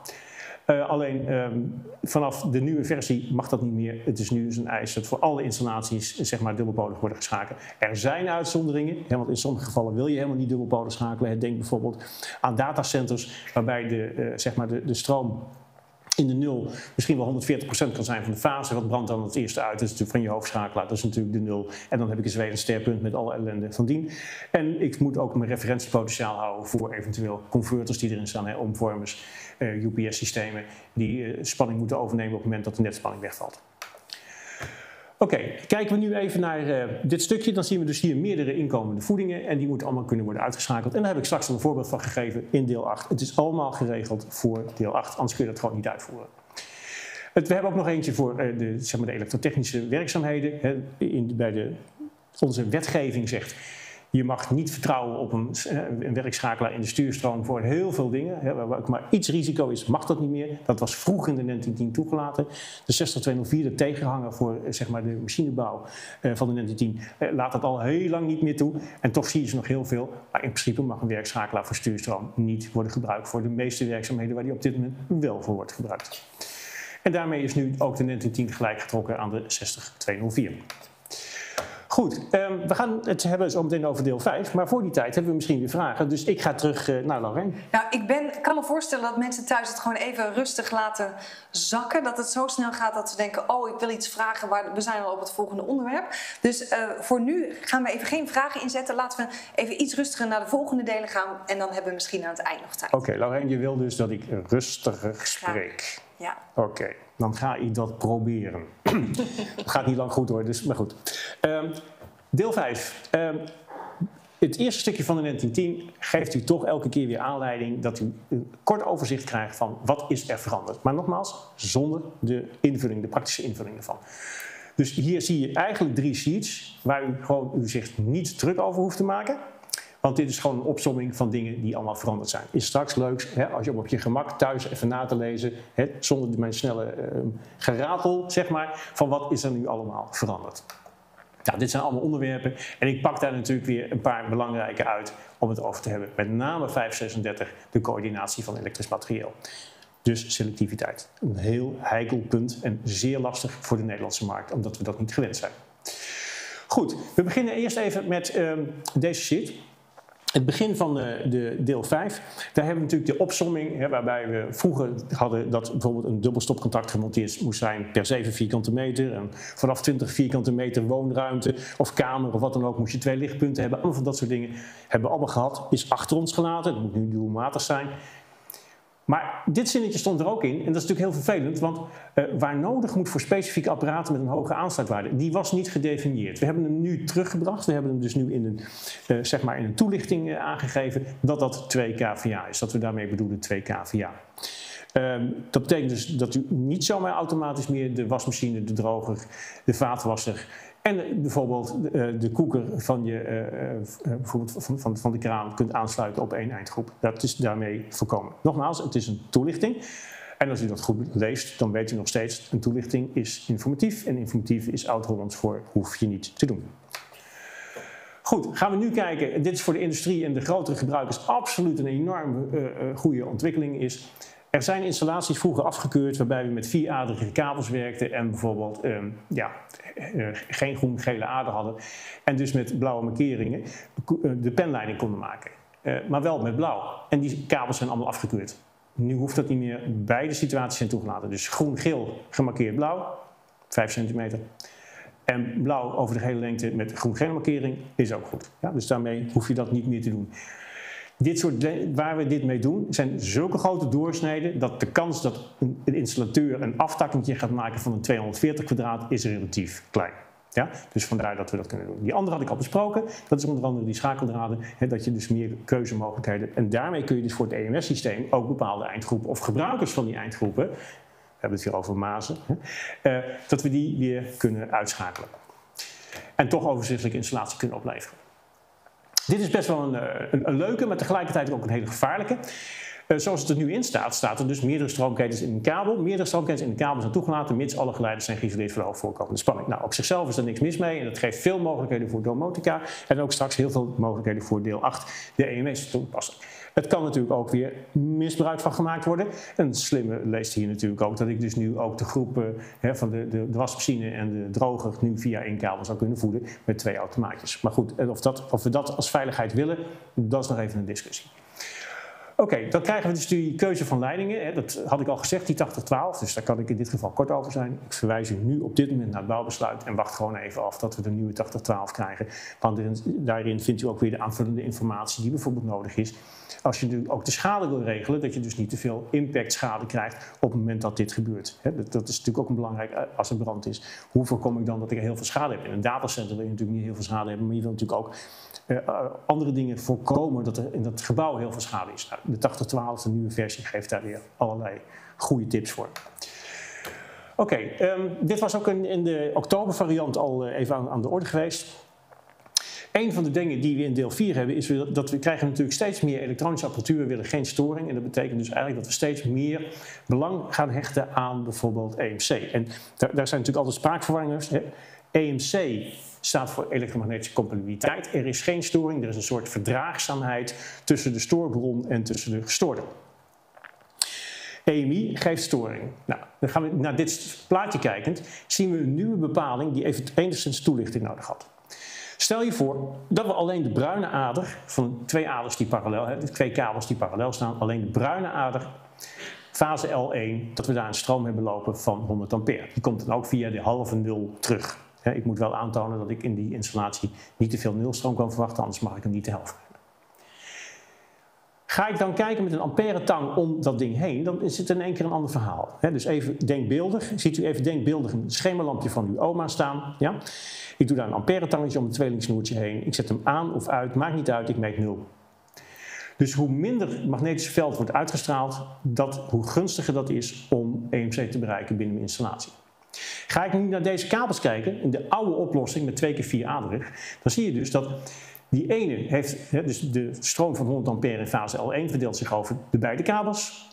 Dat betekent dat als ik de linkerkabel een ampère tang omheen leg, want er komt geen stroom terug, is 50 ampère. Doe ik dat over de rechter, is weer 50 ampère, want er gaat namelijk 100 ampère terug over de 0 en maar 50 heen. Dus beide zijn niet magnetisch in evenwicht.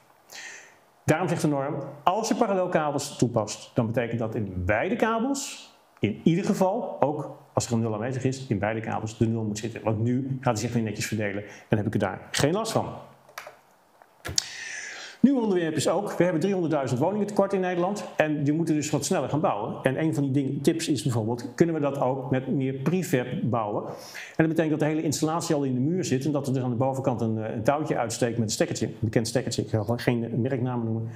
Uh, en in feite is het nu zo dat het ook mogelijk is dat ik die dus in feite in de beton heb zitten dat ik er dus later niet meer bij kom. Dat is in strijd met deel 1, want daar staat in dat het altijd voor toegankelijk moet zijn voor inspectie en onderhoud. Maar ze hebben toestemming gekregen, er zijn uitzonderingen voor, er zijn meer. Bijvoorbeeld een kabelmof in de grond, die ga je niet openzagen om te kijken of die van binnen goed is, en dan kun je weer opnieuw maken. Nou, een dergelijke uitzonderingspositie hebben deze verbinding gekregen. En dat betekent dat ik dus gewoon het dak erop kan hebben, of de tussenpaneel erop leggen, eh, verdieping. En dat ik dan gewoon de verbinding klik, klik in elkaar, ja, even aansmeren met roodband, ja, klaar is Kees. Nou, of het helemaal zo moet, dat is even de vraag. Maar u begrijpt in ieder geval, je komt er nooit meer bij. Toegelaten voor als de fabrikant aangeeft dat dat mag. Oké, nou dan hebben we natuurlijk een, uh, een van de heikele punten altijd van, van deze norm is natuurlijk uh, de toepassing van uitlegschakelaars. We hadden daar een bepaling over, dat was 531. En die natuurlijk van ja, je mag maximaal vier, uh, dus als je twee aardleks hebt, je verdeelt hem over twee aardleks, nodig vanwege de verlichting, dan mag je maximaal per aardlek vier uh, eindgroepen plaatsen. Daar deden we niet al te moeilijk over als er een kookgroepje tussen zat, want die werd dan beschouwd, als één. Uh, ondanks dat er twee automaatjes waren, maar dat was ongeveer de, de strekking. Daarin zat ook de, de bepaling dat je moet wel oppassen van opmerking, let op, geen verplichting dat je maximaal 50% van de toegekende aanspreekstroom kan die trippen. Dat wil dus zeggen, als ik een 30 mA aardelijk heb, dan kon die trippen bij 15 mA. Daar moet je rekening mee houden. Dus je moet natuurlijk niet zo stom zijn dat je alle natte groepen op één uh, aardlek zet. Want ja, dan A, voldoe je dan niet aan de, de verlichting, want die moet verdeeld zijn over twee aardleks. Maar B, heb je zoveel aardlekstroom dat dat ding ook gewoon niet goed gaat functioneren. Dus hier zie je de bekende trouwe oplossing. Ik hoop dat u in ieder geval eh, mijn plaatjes herkent. mocht u vandaag helemaal niks opgestoken hebben, een wasmachine die het C-bakje links heeft zitten, is een nieuwe. En als ik hem rechts teken, dan is het een oude versie. Dus dan heeft u toch in ieder geval iets meegekregen van mijn presentatie. Kijk je naar dit plaatje, dat is, dit is de oude situatie. Hè, en daar, had je dus de, verdeelde je de natte en de droge groepen zo, zo goed mogelijk. En dan voldoe je dus en aan de eis van verlichting uit 314 en tegelijkertijd voldoe je ook aan de eis dat je niet te veel lekstroom hebt. Die bepaling is nu losgelaten, dus er staat nu iets anders. We gaan eerst even kijken naar het bovenste stukje. Ik heb u al verteld bij deel 8 dat er dus heel veel uh, eisen zijn met betrekking tot ik moet foutafschakeling doen. Dus ook bij uh, off-grid installaties, ook bij een zwak net moet ik dat kunnen doen. En dat betekent dat ik dus heel veel moet gaan teruggrijpen. Dat is ook een van de vragen van, de, van mensen die nu al meekijken. Betekent dus dat ik eigenlijk misschien wel voor elke eindgroep een aardelijk automaat moet toepassen. En je ziet ook dat zinnetje opgebouwd. Ik moet dus, het volgende moet worden overwogen. Dus om de kans klein te maken op ongewenst aanspreken, moet ik het volgende overwegen. Misschien moet ik in de, in de onderverdeling alle stroomketens wel voorzien van een aardlekschakelaar. Oké, dat betekent dus een aardlekautomaat. Uh, de tweede regel, en die is ook best vervelend, is die aardlekschakelaars moeten zo zijn gekomen en de stroomketens moeten zo worden ingedeeld dat lekstromen naar aarde die bij normale werking van de aard aangesloten belasting kunnen worden verwacht, niet resulteren in een ongewenst aanspreken. Wauw, nodig, want het EMS-systeem wil niet dat je data uitvalt. En ook om de gemeente, om ongewenste uitschakeling te voorkomen, mag de verschilstroom niet meer bedragen dan 0,3 maal de waarde van de aardlek. Dat is dus 10 mA. En dat is minder dan dat die in de vorige versie was. Dat u zich daar niet op verrekent en verkijkt, want dat is nogal een ernstig zware eis. Oké. In theorie zou je dus dit kunnen doen. Ik moet voldoen aan de eis dat ik mijn verlichting verdeel. Nou, dat heb ik gedaan. Ik heb hier één aardelijkautomaat voor gebruikt, voor een droge groep. En tegelijkertijd heb ik alleen maar natte groepen en een paar droge groepen op één aardelijk schakelaar gezet. Dit lijkt leuk, maar ik ga hier dus never nooit voldoen aan de eis van die 10 mA. Want apparatuur, zoals wasmachines, drogers, vaatwassers en dat soort dingen, vallen allemaal onder een productnorm. En dat is de 60335. En die laat toe dat als er een stekker aan zit van 16 ampère, uw lekstroom nu waarde 3,5 mA mag zijn. Dat betekent dus dat ik nu al op 14 mA zit. Dus dat wordt ook niet. Uh, einde gebruiksduur, dat hebben we ook altijd in de 3140 zo gezien, mag 200% zijn. Dus dan weten we al van tevoren dat het niet gaat werken. Dus wees even terughoudend met de nieuwe mogelijkheden die u krijgt. Aandachtspunten. Als u iets anders gaat doen dan gewoon de standaard auto, eh, verdeler kopen, eh, hou er dan even rekening mee dat u dan ook, um, ja, u bent verantwoordelijk. Als het straks fout gaat omdat er een andere bewoner komt of dat er oude apparatuur gebruikt wordt. Denk bijvoorbeeld even aan mensen die uh, nieuw komen in Nederland en die gewoon helemaal niet gewend zijn aan elektrische installaties. Die hebben geen geld, die kopen in de sociale woningbouw, kopen ze gewoon bij de kringloopspulletjes. Die lekstroom die daarvoor komen zijn vrij groot. De verantwoordelijkheid is nu naar u toegeschoven, want u moet zorgen dat hij niet ongewenst aanspreekt. Dus be careful. Dan, als u zelf iets samenstelt en dus niet kan te klaar kopen, hou er even rekening mee. Gewoon geregeld onder de laagspanningsrichtlijn. U bent dan fabrikant van de verdeler. En dus moet u ook zorgen dat hij een CE-verklaring van die verdeler heeft. In die norm staat dat als u geen temperatuurtest gaat doen, maar de warmte berekent, alle componenten dus groter moeten zijn. Dus u begint niet met een hoofdschakelaar van bijvoorbeeld 40, maar bijvoorbeeld van 63 ampère. En dat geldt ook voor het railsysteem en de interne bedrading. Be careful met wat je gaat doen. Oké, um, dat laat ik aan u als techneut over, want daar heeft u meer verstand van dan wie dan ook. Oké, dus um, pas even op naar dit plaatje. Um, Ongewenst aanspreken, 2050, daar gaan we wat meer verwarmen. En hier zie je dat ook het de oude schema dan ook wel even goed bekeken moet worden of u dan nog wel voldoet. Genoeg daarover. We gaan het hebben over een veel lastiger onderwerp, 536. Um, wat we hier zien is een, uh, ja, we moeten selectiviteit verkrijgen. En uh, ja, dat, dat, kan niet anders. En dat heeft allemaal te maken met deel 8, met onder andere smart die eigen opwekkingen, twee richting beveiliging, et cetera. Ik neem u langzaam mee. Ik wil er even bij zeggen, het is veel ingrijpender dan dat ik hier kan laten zien. Het kost ongeveer anderhalf uur om dat goed door te nemen met u. Maar dat, die tijd heb ik niet, dus ik ga alleen even de highlights pakken. We krijgen een aantal nieuwe kreten. Die ga ik hier niet uh, noemen, want die komen vanzelf aan de orde. Maar u kunt u het rustig teruglezen als u vindt dat ik op dit moment te snel spreek. Hier zien we een technisch plaatje. Dit spreekt veel meer aan. Oudere installateurs die kennen dit helemaal. Hè, een installatie uit de jaren 60.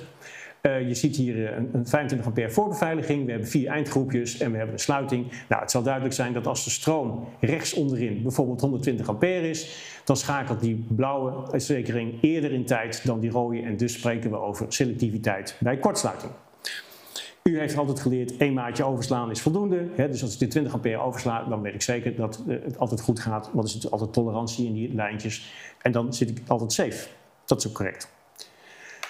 Gaan we nu kijken naar de selectiviteit bij overbelasting, iets wat nooit in onze opleiding meegenomen is, althans deels. Dan ziet u hier dat u natuurlijk door het energiebedrijf eh, waardes opgelegd krijgt waar u mee moest rekenen. Maar als ik echt ga kijken in de praktijk, was de stroom in dat soort woningen niet boven de 10 ampère per eindgroep, behalve als er grote gebruikers aanstonden. Dat zag je ook heel vaak, omdat daar de bovenverdieping vaak met rode 10 ampère beveiliging werd uitgevoerd. Als ik dit optel, voldoe ik nog steeds. Als we een afspraak kunnen maken die niet vastgelegd is op dit moment in de 1910 voor woningen van 60%, dan voldoe ik daaraan. Het wordt echter anders wanneer ik het met automaten ga doen. Dus ik neem hier een nieuwe installatie van bijvoorbeeld met C40 automaten en we gaan het nog eens bekijken. Dan zie je dat je hier dus never nooit meer uitkomt. De totale belasting is veel meer door al die eindgroepen dan dat we, dat we selectiviteit kunnen waarborgen op basis van C40. Dus dat is al even voor overbelasting. Maar nu even bij kortsluiting. Laten we daar even simpel mee beginnen. Stel dat we achter één van die B16 automaten kortsluiting hebben, hebben dan is het zo dat die automaten bijna allemaal net zo snel afschakelen. U, weet waarschijnlijk wel, je kunt bijna niet sneller schakelen dan de mechanische afschakeltijd van die eenvoudige vorm van automaten. Er zijn betere automaten, dat weet ik, maar we hebben het even over de automaten die beschikbaar zijn en het meest gebruikt worden. Dan zie je hier dat als die B16, die heeft dus nodig tussen de 3 en de 5 keer I-nominaal. Ik heb dat voor u nog even verteld. Dat betekent dus tussen de 48 ampère en de 80 ampère, daar tript hij. Maar stel nou eens dat die sluiting 400 ampère is, dan trippen ze dus allebei. En dat doen ze nog steeds wanneer je ook 300 ampère hebt. Waarom? Omdat die B-automaat net zo snel schakelt als die C-automaat. Dus die kans dat ze allebei trippen is heel groot. Dus daarmee heb ik geen selectiviteit. Die kan ik alleen maar garanderen tot de waarde van 300. Dan weet ik namelijk zeker dat de C-automaat het niet doet. En dan praten we dus over gedeeltelijke selectiviteit. Eén van de kreten die u op die sheet zag, die ik niet uitgelegd heb. Oké, Ander dingetje wat erin staat is bijvoorbeeld, en dat wil ik u toch even in woorden voor waarschuwen, dat u moet kijken hoe lang doet die automaat of zekering erover om een bepaalde waarde van de kortstroom af te schakelen. Die waarde maal de tijd, I T-waarde, is een maat die u mee moet nemen voor de apparatuur die erachter zit met afschakelen. U gaat zo meteen natuurlijk heel veel verlichting uh, schakelen met relais. Denk even aan domotica. Maar denk ook over aan kantoorinstallaties, met, eh, met de mazen, eh, zones en mazen waar we mee te maken krijgen. En dat betekent dus wel dat die contacten daartegen moeten kunnen. En dat is hier geregeld, dat u moet rekening houden, wat is de doorlaatenergie van, uh, van mijn beveiliging en wat is de invloed daarvan op de componenten die erachter liggen.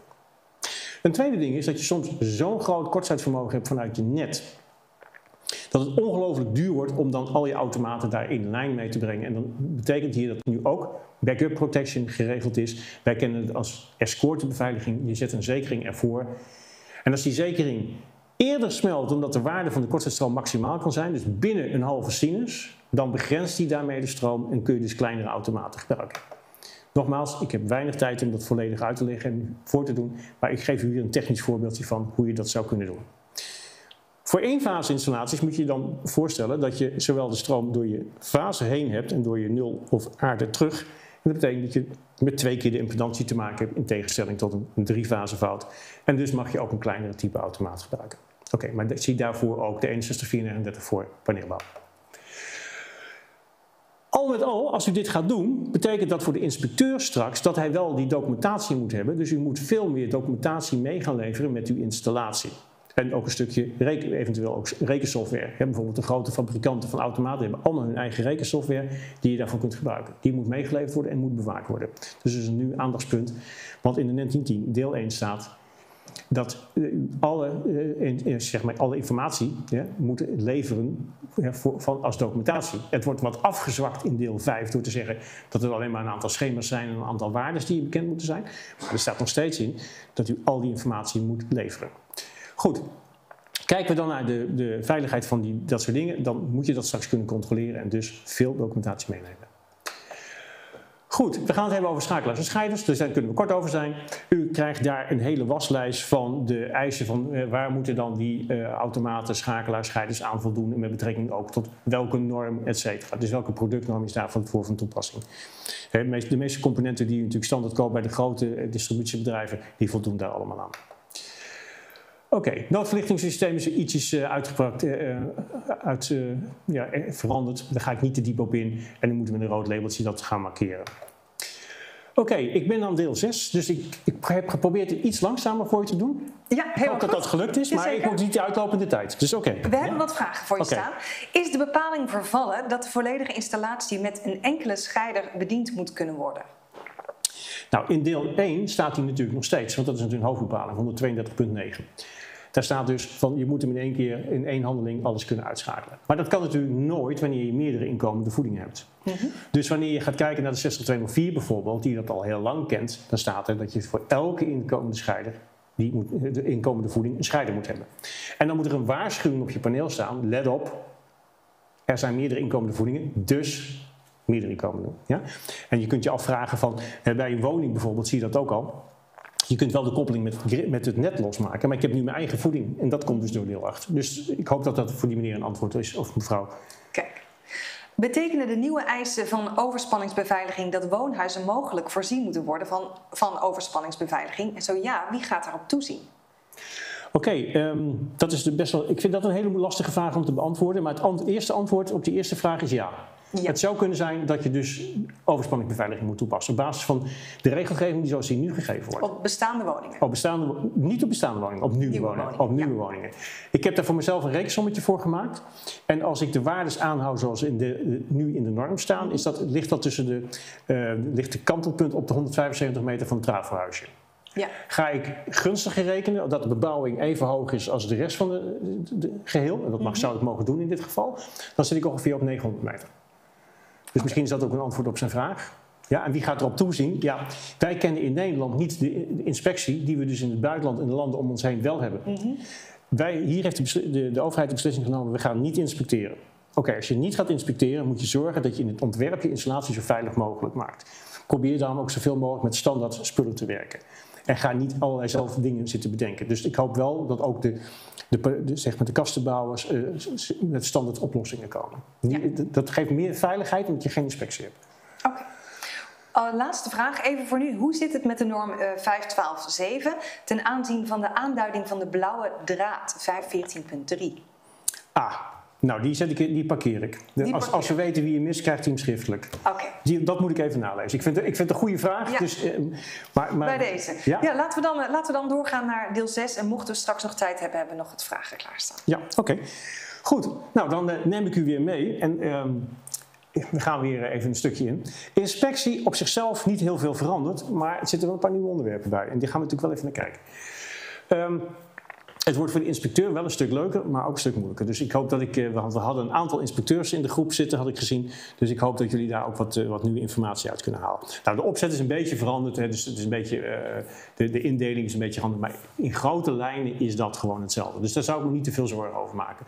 En zeker voor de inspecteur niet, die leest dat stuk door en die zegt van oké, dat hoofdstuk heb ik gelezen, ik begrijp wat de bedoeling is. Um, er zijn echter wel een paar dingetjes die nieuw zijn. dus nieuwe inspectiepunten wat we nooit gedaan hebben, is dat dus de inspecteur nu ook de controle moet doen of de juiste keuze gemaakt is met betrekking tot de beveiligings- en bewakingstoezicht. Met andere woorden, eh, is de instelling juist bij bijvoorbeeld twee richtingsautomaten, bij een enkele automaat die instelbaar is, is de selectiviteit en de, de coördinatie van dat soort elementen, is dat oké. Dus dat is best wel, vergt heel veel kennis en ook documentatie. Dus daarom is het goed dat het in de documentatie ook meegeleverd moet worden. Je krijgt meteen de vraag op de antwoord die we straks al even kregen. Hè? Dus zie je meteen van, goh, ja, maar hoe zit het dan met de overspanningsafleiders? Hè? Want dat is best wel heel erg lastig om, als je dat niet weet. Nou, ik hoop dat we daar ook gewoon in de bladen die we daarvoor hebben, eh, Martin Team bijvoorbeeld, maar ook alle andere bladen, want die zijn heel erg goed. Ehm, dat we daar ook een keer aandacht aan geven. En dat zou leuk zijn natuurlijk als uh, de, de, spreker in dat filmpje dan ook even uitgenodigd wordt om daar iets over te vertellen. Um, voor de rest is het natuurlijk zo dat um, dat je moet gaan kijken of we op de juiste plekken gaan scheiden. Wat heel vaak gebeurt met PV-installaties is dat natuurlijk de PV-installatie op een automaat wordt aangesloten die achter een aardlek hangt. Dan zit hij dus niet op de goede plek. Dus dat is wel even een aandachtspunt voor uh, installateurs. Um, nou, maatregelen tegen EMI, hè, dat is dus elektromagnetische interferentie. Dus je moet kijken of dat goed ingevuld is. Dus gebruik ik gescheiden goten? Gebruik, heb ik een scheiding tussen mijn storende kabels en mijn niet storende en mijn gevoelige kabels? Um, heb ik een schotje geplaatst, et cetera. Allemaal van dat soort dingen die daar nu in geregeld zijn. En natuurlijk de vereffening van allerlei onderdelen. Dus u ziet voor de inspecteur heel veel leuk nieuw werk erbij. Ja? Dus die hoeft zich niet te gaan zitten vervelen. Oké, ehm, dan een nieuwe, en dat gebeurt best nog wel vaak, het testen van uh, dat moet worden gedaan in onbelaste toestand. Dat is om te voorkomen dat er al lekstroom loopt, waardoor je de indruk krijgt dat die aardrijkbeveiliging veel te vroeg aanspreekt. bijvoorbeeld, hij spreekt aan bij 10 mA, terwijl je eigenlijk zou weten voor een 30 mA aardrijkschakelaar zou dat vanaf 15 mogen, maar van, vanaf 30 moeten. Dus dan denk je, die is niet goed. Nou, dat hoeft natuurlijk niet altijd het geval te zijn. Er kan natuurlijk door een van de eindgroepen, hè, eh, van de, op, dit, dit moment een van de maximaal vier uh, eindgroepen, zou zoveel stroom kunnen lopen dat die dus gevoeliger wordt en die stroom die je erbij maakt, hè, bij, zeker bij een eenfase type, uh, dat die daardoor tript. Nou, hier staat dus onbelast. Dat betekent dus het rijdt je automaten eronder uit. Ik geef wel toe dat het even iets lastiger wordt voor een aardelijk automaat, maar er staat dus ook aardelijk beveiliging. Ja? Maar dan betekent gewoon die geen, alsjeblieft geen draadjes loshalen. Eerst meten is de verschilstroom. Even tussen fase 0 milliampère tangetje doorheen, dat je weet van wat de verschilstroom die gaat lopen. Dat kun je daaraan zien namelijk. Um, zonder de weg terug te kennen via aarde. En dan kun je een combinatie maken van, oh ja, er loopt al 4 milliampère, dus het is oké als die bij 13 milliampère schakelt, want die moet ik ermee optellen. Oké, okay, um, Ander ding is wat belangrijk is, is, is het materiaal goed aangesloten. Dit wordt een steeds belangrijker onderwerp, want vaak hebben we storingen in apparatuur doordat spullen niet goed zijn aangesloten, niet conform de fabrikant. Dat wordt een steeds belangrijker onderwerp. En het testen natuurlijk van nooduitschakeling en noodstop. We hebben bij nooduit, de spanning eraf is en noodstop, een beweging. Dus de ene is, een statisch gevaar, bijvoorbeeld spanning, nooduit. En noodstop is een dynamisch gevaar, beweging. En uiteraard het testknopje van de uitlekbeveiliging. Ja. Goed, um, nou ja, dan houd rekening met de bepalingen van vorige inspecties en um, maak het wel zo veilig mogelijk. Dus probeer met zo min mogelijk ontmanteling toch een goede inspectie te kunnen uitvoeren. Op het moment dat het wel fout gaat, we hebben natuurlijk in onze wetgeving staan dat uh, testen mag onder spanning. Maar op het moment dat het wel fout gaat bij het loshalen van dingen, werken we nog wel onder spanning. Dus hou dat echt in de gaten, dat je daar niet te veel rare risico's neemt. Goed, um, de rest spreekt voor zich. En dat ga ik met deze ook doen. Want, oh ja, hier moet ik er nog eentje doen. Uh, excuus. Wat wij in Nederland niet veel kennen, is dat we, als wij een aardlekschakelaar toepassen, dan schakelen we daar ook meestal mee af. Dat hoeft niet. In ziekenhuizen kun je het ook anders opbouwen. Dat je zegt van nou, ik ga niet afschakelen, ik wil hem alleen bewaken. Dus op het moment dat hij optreedt, wil ik weten wanneer die is. Dan kan ik een operatie afmaken en vervolgens kan ik, als die operatie klaar is, gaan zoeken waar die aardlek vandaan komt. Dus je kunt hem ook alleen maar meten. En dat soort systemen moet je dus nu ook testen. Dus ook een punt van aandacht voor de inspecteur. Goed, dan wordt er een, ja, zeg maar een, een, een, een advies gegeven. Hè, dus bijvoorbeeld om de vier jaar inspectieinterval. Nou ja, daar kennen wij de NEN 3140 en de verzekeraars voor. Hè, de scope uh, bijvoorbeeld, uh, die, die daar ook iets mee doet. Dus, maar het, het, staat nu wel in de 1910, dat is logisch. Het is natuurlijk internationaal overgenomen en andere landen zijn er ook al jaren mee bezig. Vooral Engeland is daar heel fanatiek in. En met woningen wordt daar ook iets over gezegd. Tot nu toe het, is het ons nog niet gelukt om inspectie voor woningen uh, op de rit te zetten. Maar het zou voor echt voor heel veel oude panden toch wel eens goed zijn om te kijken wat er allemaal bij gevreubeld is. Oké, dan is er een heel leuk inspectieformulier en daar ga ik het verder niet over hebben. Daarvoor nodig ik u toch uit om de norm uh, zeg maar even in te zien en te kijken wat daarover vermeld staat. Goed, zit ik in deel 7. Nog geen vragen tussen gekomen? Er zijn wat vragen tussen gekomen, maar ik laat je eerst even afmaken. Oké. Alleen hoe je er al bij kijkt. Zo. Goed. Ik ga niet alle wijzigingen doen, maar wel even een paar highlights. En uh, u weet zo waarschijnlijk wel dat als we praten over een, uh, een, een rubriek, bijvoorbeeld 701, hè, daar stonden bijvoorbeeld de, de, de, aanvullingen in voor als ik nou wel een badkamer heb, wat moet ik dan meer doen dan dat ik in een gewoon kantoor zou doen? Nou, een kantoor lijkt natuurlijk heel veel op een woning, in een badkamer, dat moet je dus meer doen. En dat betekent, wat moet ik dan meer doen? En dat is dan per onderwerp, dus per hoofdstuk aangegeven, per, sorry, dit ging fout, per deel aangegeven wat je meer moet doen. Nou, dat is een bekende structuur. Alleen om dingetjes wat makkelijker te maken voor normcommissieleden is de nummering licht aangepast. Daar heeft u overigens geen last van als u het leest. Het is alleen maar voor normcommissieleden. Dus daarom ga ik er ook niet te diep op, op in. Dus hier zie je wat voorbeelden. Het is in plaats van dat het 701.3.1 is, is het nu 701 algemeen. Dat betekent dat ze meer ruimte hebben om allerlei dingen te kunnen aanpassen. Ik, ga, ik vind het zonde van de tijd om daarop in te gaan, dus dat ga ik nu ook niet doen. Ik heb een kort overzicht voor u geschetst En dat is wat makkelijker dan ehm, dat je daarvoor de norm zelf gebruikt. Met waar de echte dingen, wijzigingen in zitten. Overal zijn wel kleine dingetjes, maar bijvoorbeeld geen technisch inhoudelijke betekent, ik doe er helemaal niks aan. Kijk ik naar rubriek 704, dan hebben we daar een kleine wijziging met betrekking tot de hoofdschakelaar, of die wel of niet bereikbaar moet zijn tijdens werkuren. Bij campings en vergelijkbare terreinen zie je steeds meer dat de gemeenschappelijke toepassing van een aardlekschakelaar steeds lastiger wordt. En dat is natuurlijk logisch. Het is natuurlijk heel vervelend dat als dat uw koelkast ontdooid is als je op de camping staat, omdat de buurman een, hè, zeg maar een koffiezetapparaat heeft wat niet deugt. Want daarmee is die aardlek van u beiden uitgeschakeld. Dus je ziet hier steeds meer dat we willen dat die aardlekschakelaars eigenlijk voor elke cliënt op zichzelf staat. En dat zien we ook in andere ruimtes. Voor de mensen in de medische sector wil ik toch uh, adviseren om wel een training te volgen wat er veranderd is voor de medische gebruikruimte. Omdat daar meer veranderd is dan dat u denkt. En dat kan ik hier in deze lezing absoluut niet meenemen. PV-systemen, uh, beperkt. Ja? Uh, maar er zitten wel een paar dingetjes bij. Let op die B-type uh, aardlekschakelaars die ongelooflijk duur zijn en die soms in de markt worden aangeboden onder valse voorwendsels. Dan is het een aardlekautomaat type B. En dan denkt u dat het een B-type uh, aardlek is, maar dan is het een B-type automaat. En absoluut gewoon een A-type uh, aardlek. Dus pas daar even op. Goed, we kijken even naar uh, het volgende sheetje. Dan zien we er weer terugkomen bij bijvoorbeeld de sumier gewijzigd, maar niet ingrijpend bij 721.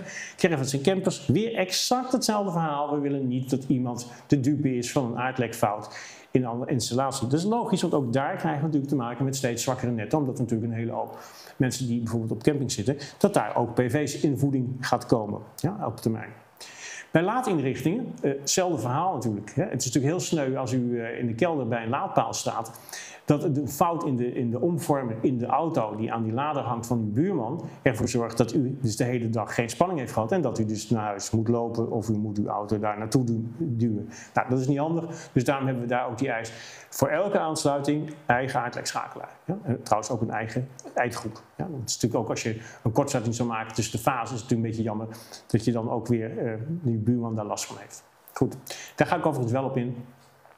Nou, voor de rest zijn er nog wat dingetjes vervallen. Um, maar dat spreekt allemaal voor zichzelf, dus daar ga ik uh, verder niet op in. Kijk even naar bijvoorbeeld vochtige ruimtes. En voor mensen die in havengebieden wonen, is het echt een aanrader om het hoofdstukje 37 te bestuderen. Erg leuk. Uh, het is natuurlijk idioot dat je op je dieselaggregaat moet blijven draaien hè, uh, als je een, een schoner milieu wil hebben, omdat er geen voeding voor is. Dus we hebben een heel nieuw hoofdstuk internationaal toegevoegd voor schepen, voor binnenvaart. En dat is erg leuk om even naar te kijken wat daar allemaal geregeld is.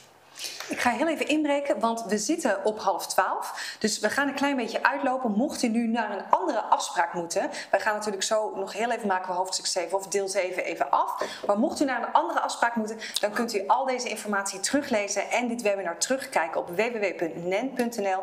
En als u deelgenomen heeft, ontvangt u ook een e-mail met daarin de link met, uh, waarop u de PowerPoint terug kunt kijken. En dan kunt u ook aan het eind van deze slide zal ook het nummer van de klantenservice staan en hoe u contact kunt opnemen. Dus mocht u ergens naartoe moeten, dan weet u dat alvast. En Paul, dan laat ik jou nog even deel 7 afmaken. Oké, okay, nou, het zijn maar een paar sheets, dus het gaat Super. goed komen.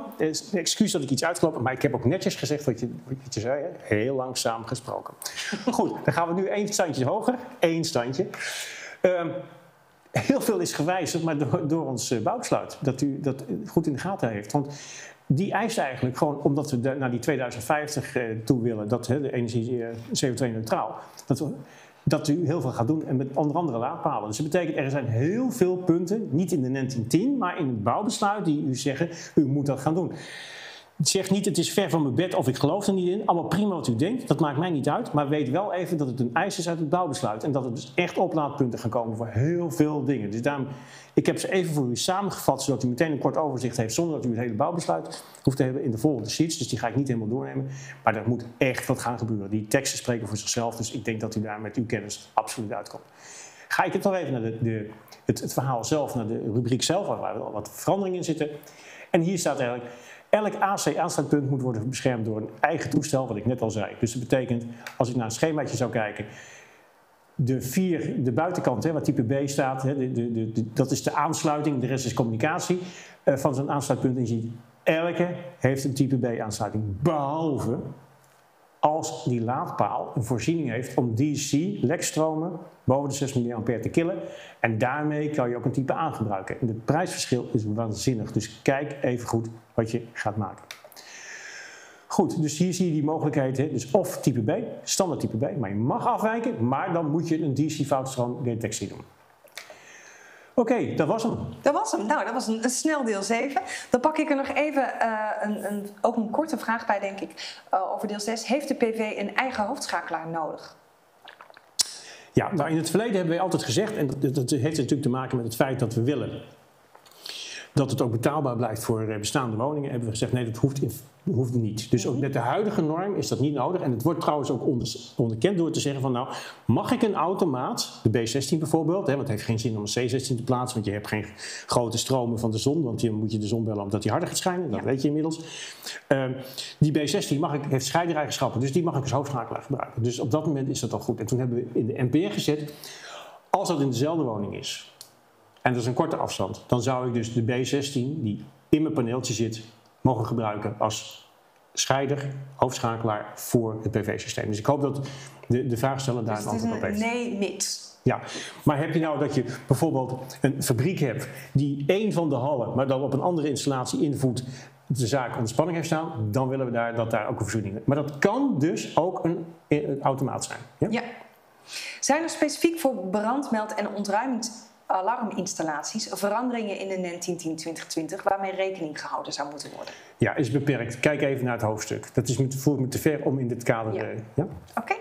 Uh, dan de allerlaatste vraag over hoofdstuk 7 of deel 7. Moet een laadpaal een vergrendelbare schakelaar hebben in het geval dat de auto als energiebron kan worden gebruikt? Oh, dit is een ontzettend leuke vraag. Maar dat kost veel te veel tijd, want de, de norm is er nu op ingericht dat je ook energie kunt terugleveren. Ja. En daar zijn natuurlijk allerlei protocollen op dit moment eh, worden daarvoor geschreven. Mhm. Maar dat voerde me echt te ver om dat nu al te laten zien. Dus ik ben al blij hè, dus dat we aan het bouwbesluit kunnen doen met meer eisen voor meer laadpalen. Maar het is een ontiegelijk leuke vraag. Je ziet hier de creativiteit van ons publiek, hè, die mhm. gewoon echt heel leuk met hele goede vragen komt en meedenkt. Dames en heren, we hebben een nieuwe norm waar we waanzinnig veel leuke dingen mee kunnen doen. Het maakt ons vak nog boeiender. Het enige nadeel is, je moet zich er wel in verdiepen. Dus dat is even een klein probleempje. Maar als je dat doet, word je net als ik hartstikke enthousiast. We kunnen er ongelooflijk veel leuke dingetjes mee doen. Het, het, het, je bent nooit uitgeleerd. Dat dacht ik namelijk wel. Ik ben toch al op een redelijke antieke leeftijd. Dus ik denk, nou, ik weet toch wel het nodige. Nee, het houdt nooit op voor een elektromonteur. En er zijn zoveel leuke ontwikkelingen. Verdiep je erin, pas het toe en maak er leuk gebruik van. Mag ik het dan daarbij laten? Tuurlijk mag je het daarbij laten. Dankjewel. Okay. Dankjewel Paul. Dankjewel u thuis voor het kijken. Uh, zoals we al kort hadden gezegd, u kunt kijken op www.nen.nl slash uh, terugblik nen 1010. Of u kunt naar nen.nl en dan komt u er ook bij uit. En daar kunt u de PowerPoint op downloaden. Uh, en natuurlijk dit webinar terugkijken. Dus maak daar ook gebruik van in alle rust in uw eigen tijd. Stuur het door naar collega's die het zouden moeten zien. want u moet natuurlijk allemaal op de hoogte zijn van die, uh, van die vernieuwingen van de NEN 1010. Um, het e-mailadres staat in beeld klantenservice.nen.nl en ook een telefoonnummer mocht u nog prangende vragen hebben. Achter de schermen wil ik Rianne, Peter Groffen en iedereen ja. hier in de studio natuurlijk van harte bedanken voor het mogelijk maken van dit webinar. Paul, nogmaals, jij bedankt. U thuis voor uw tijd en een hele fijne dag. Graag, tot ziens. Tot ziens.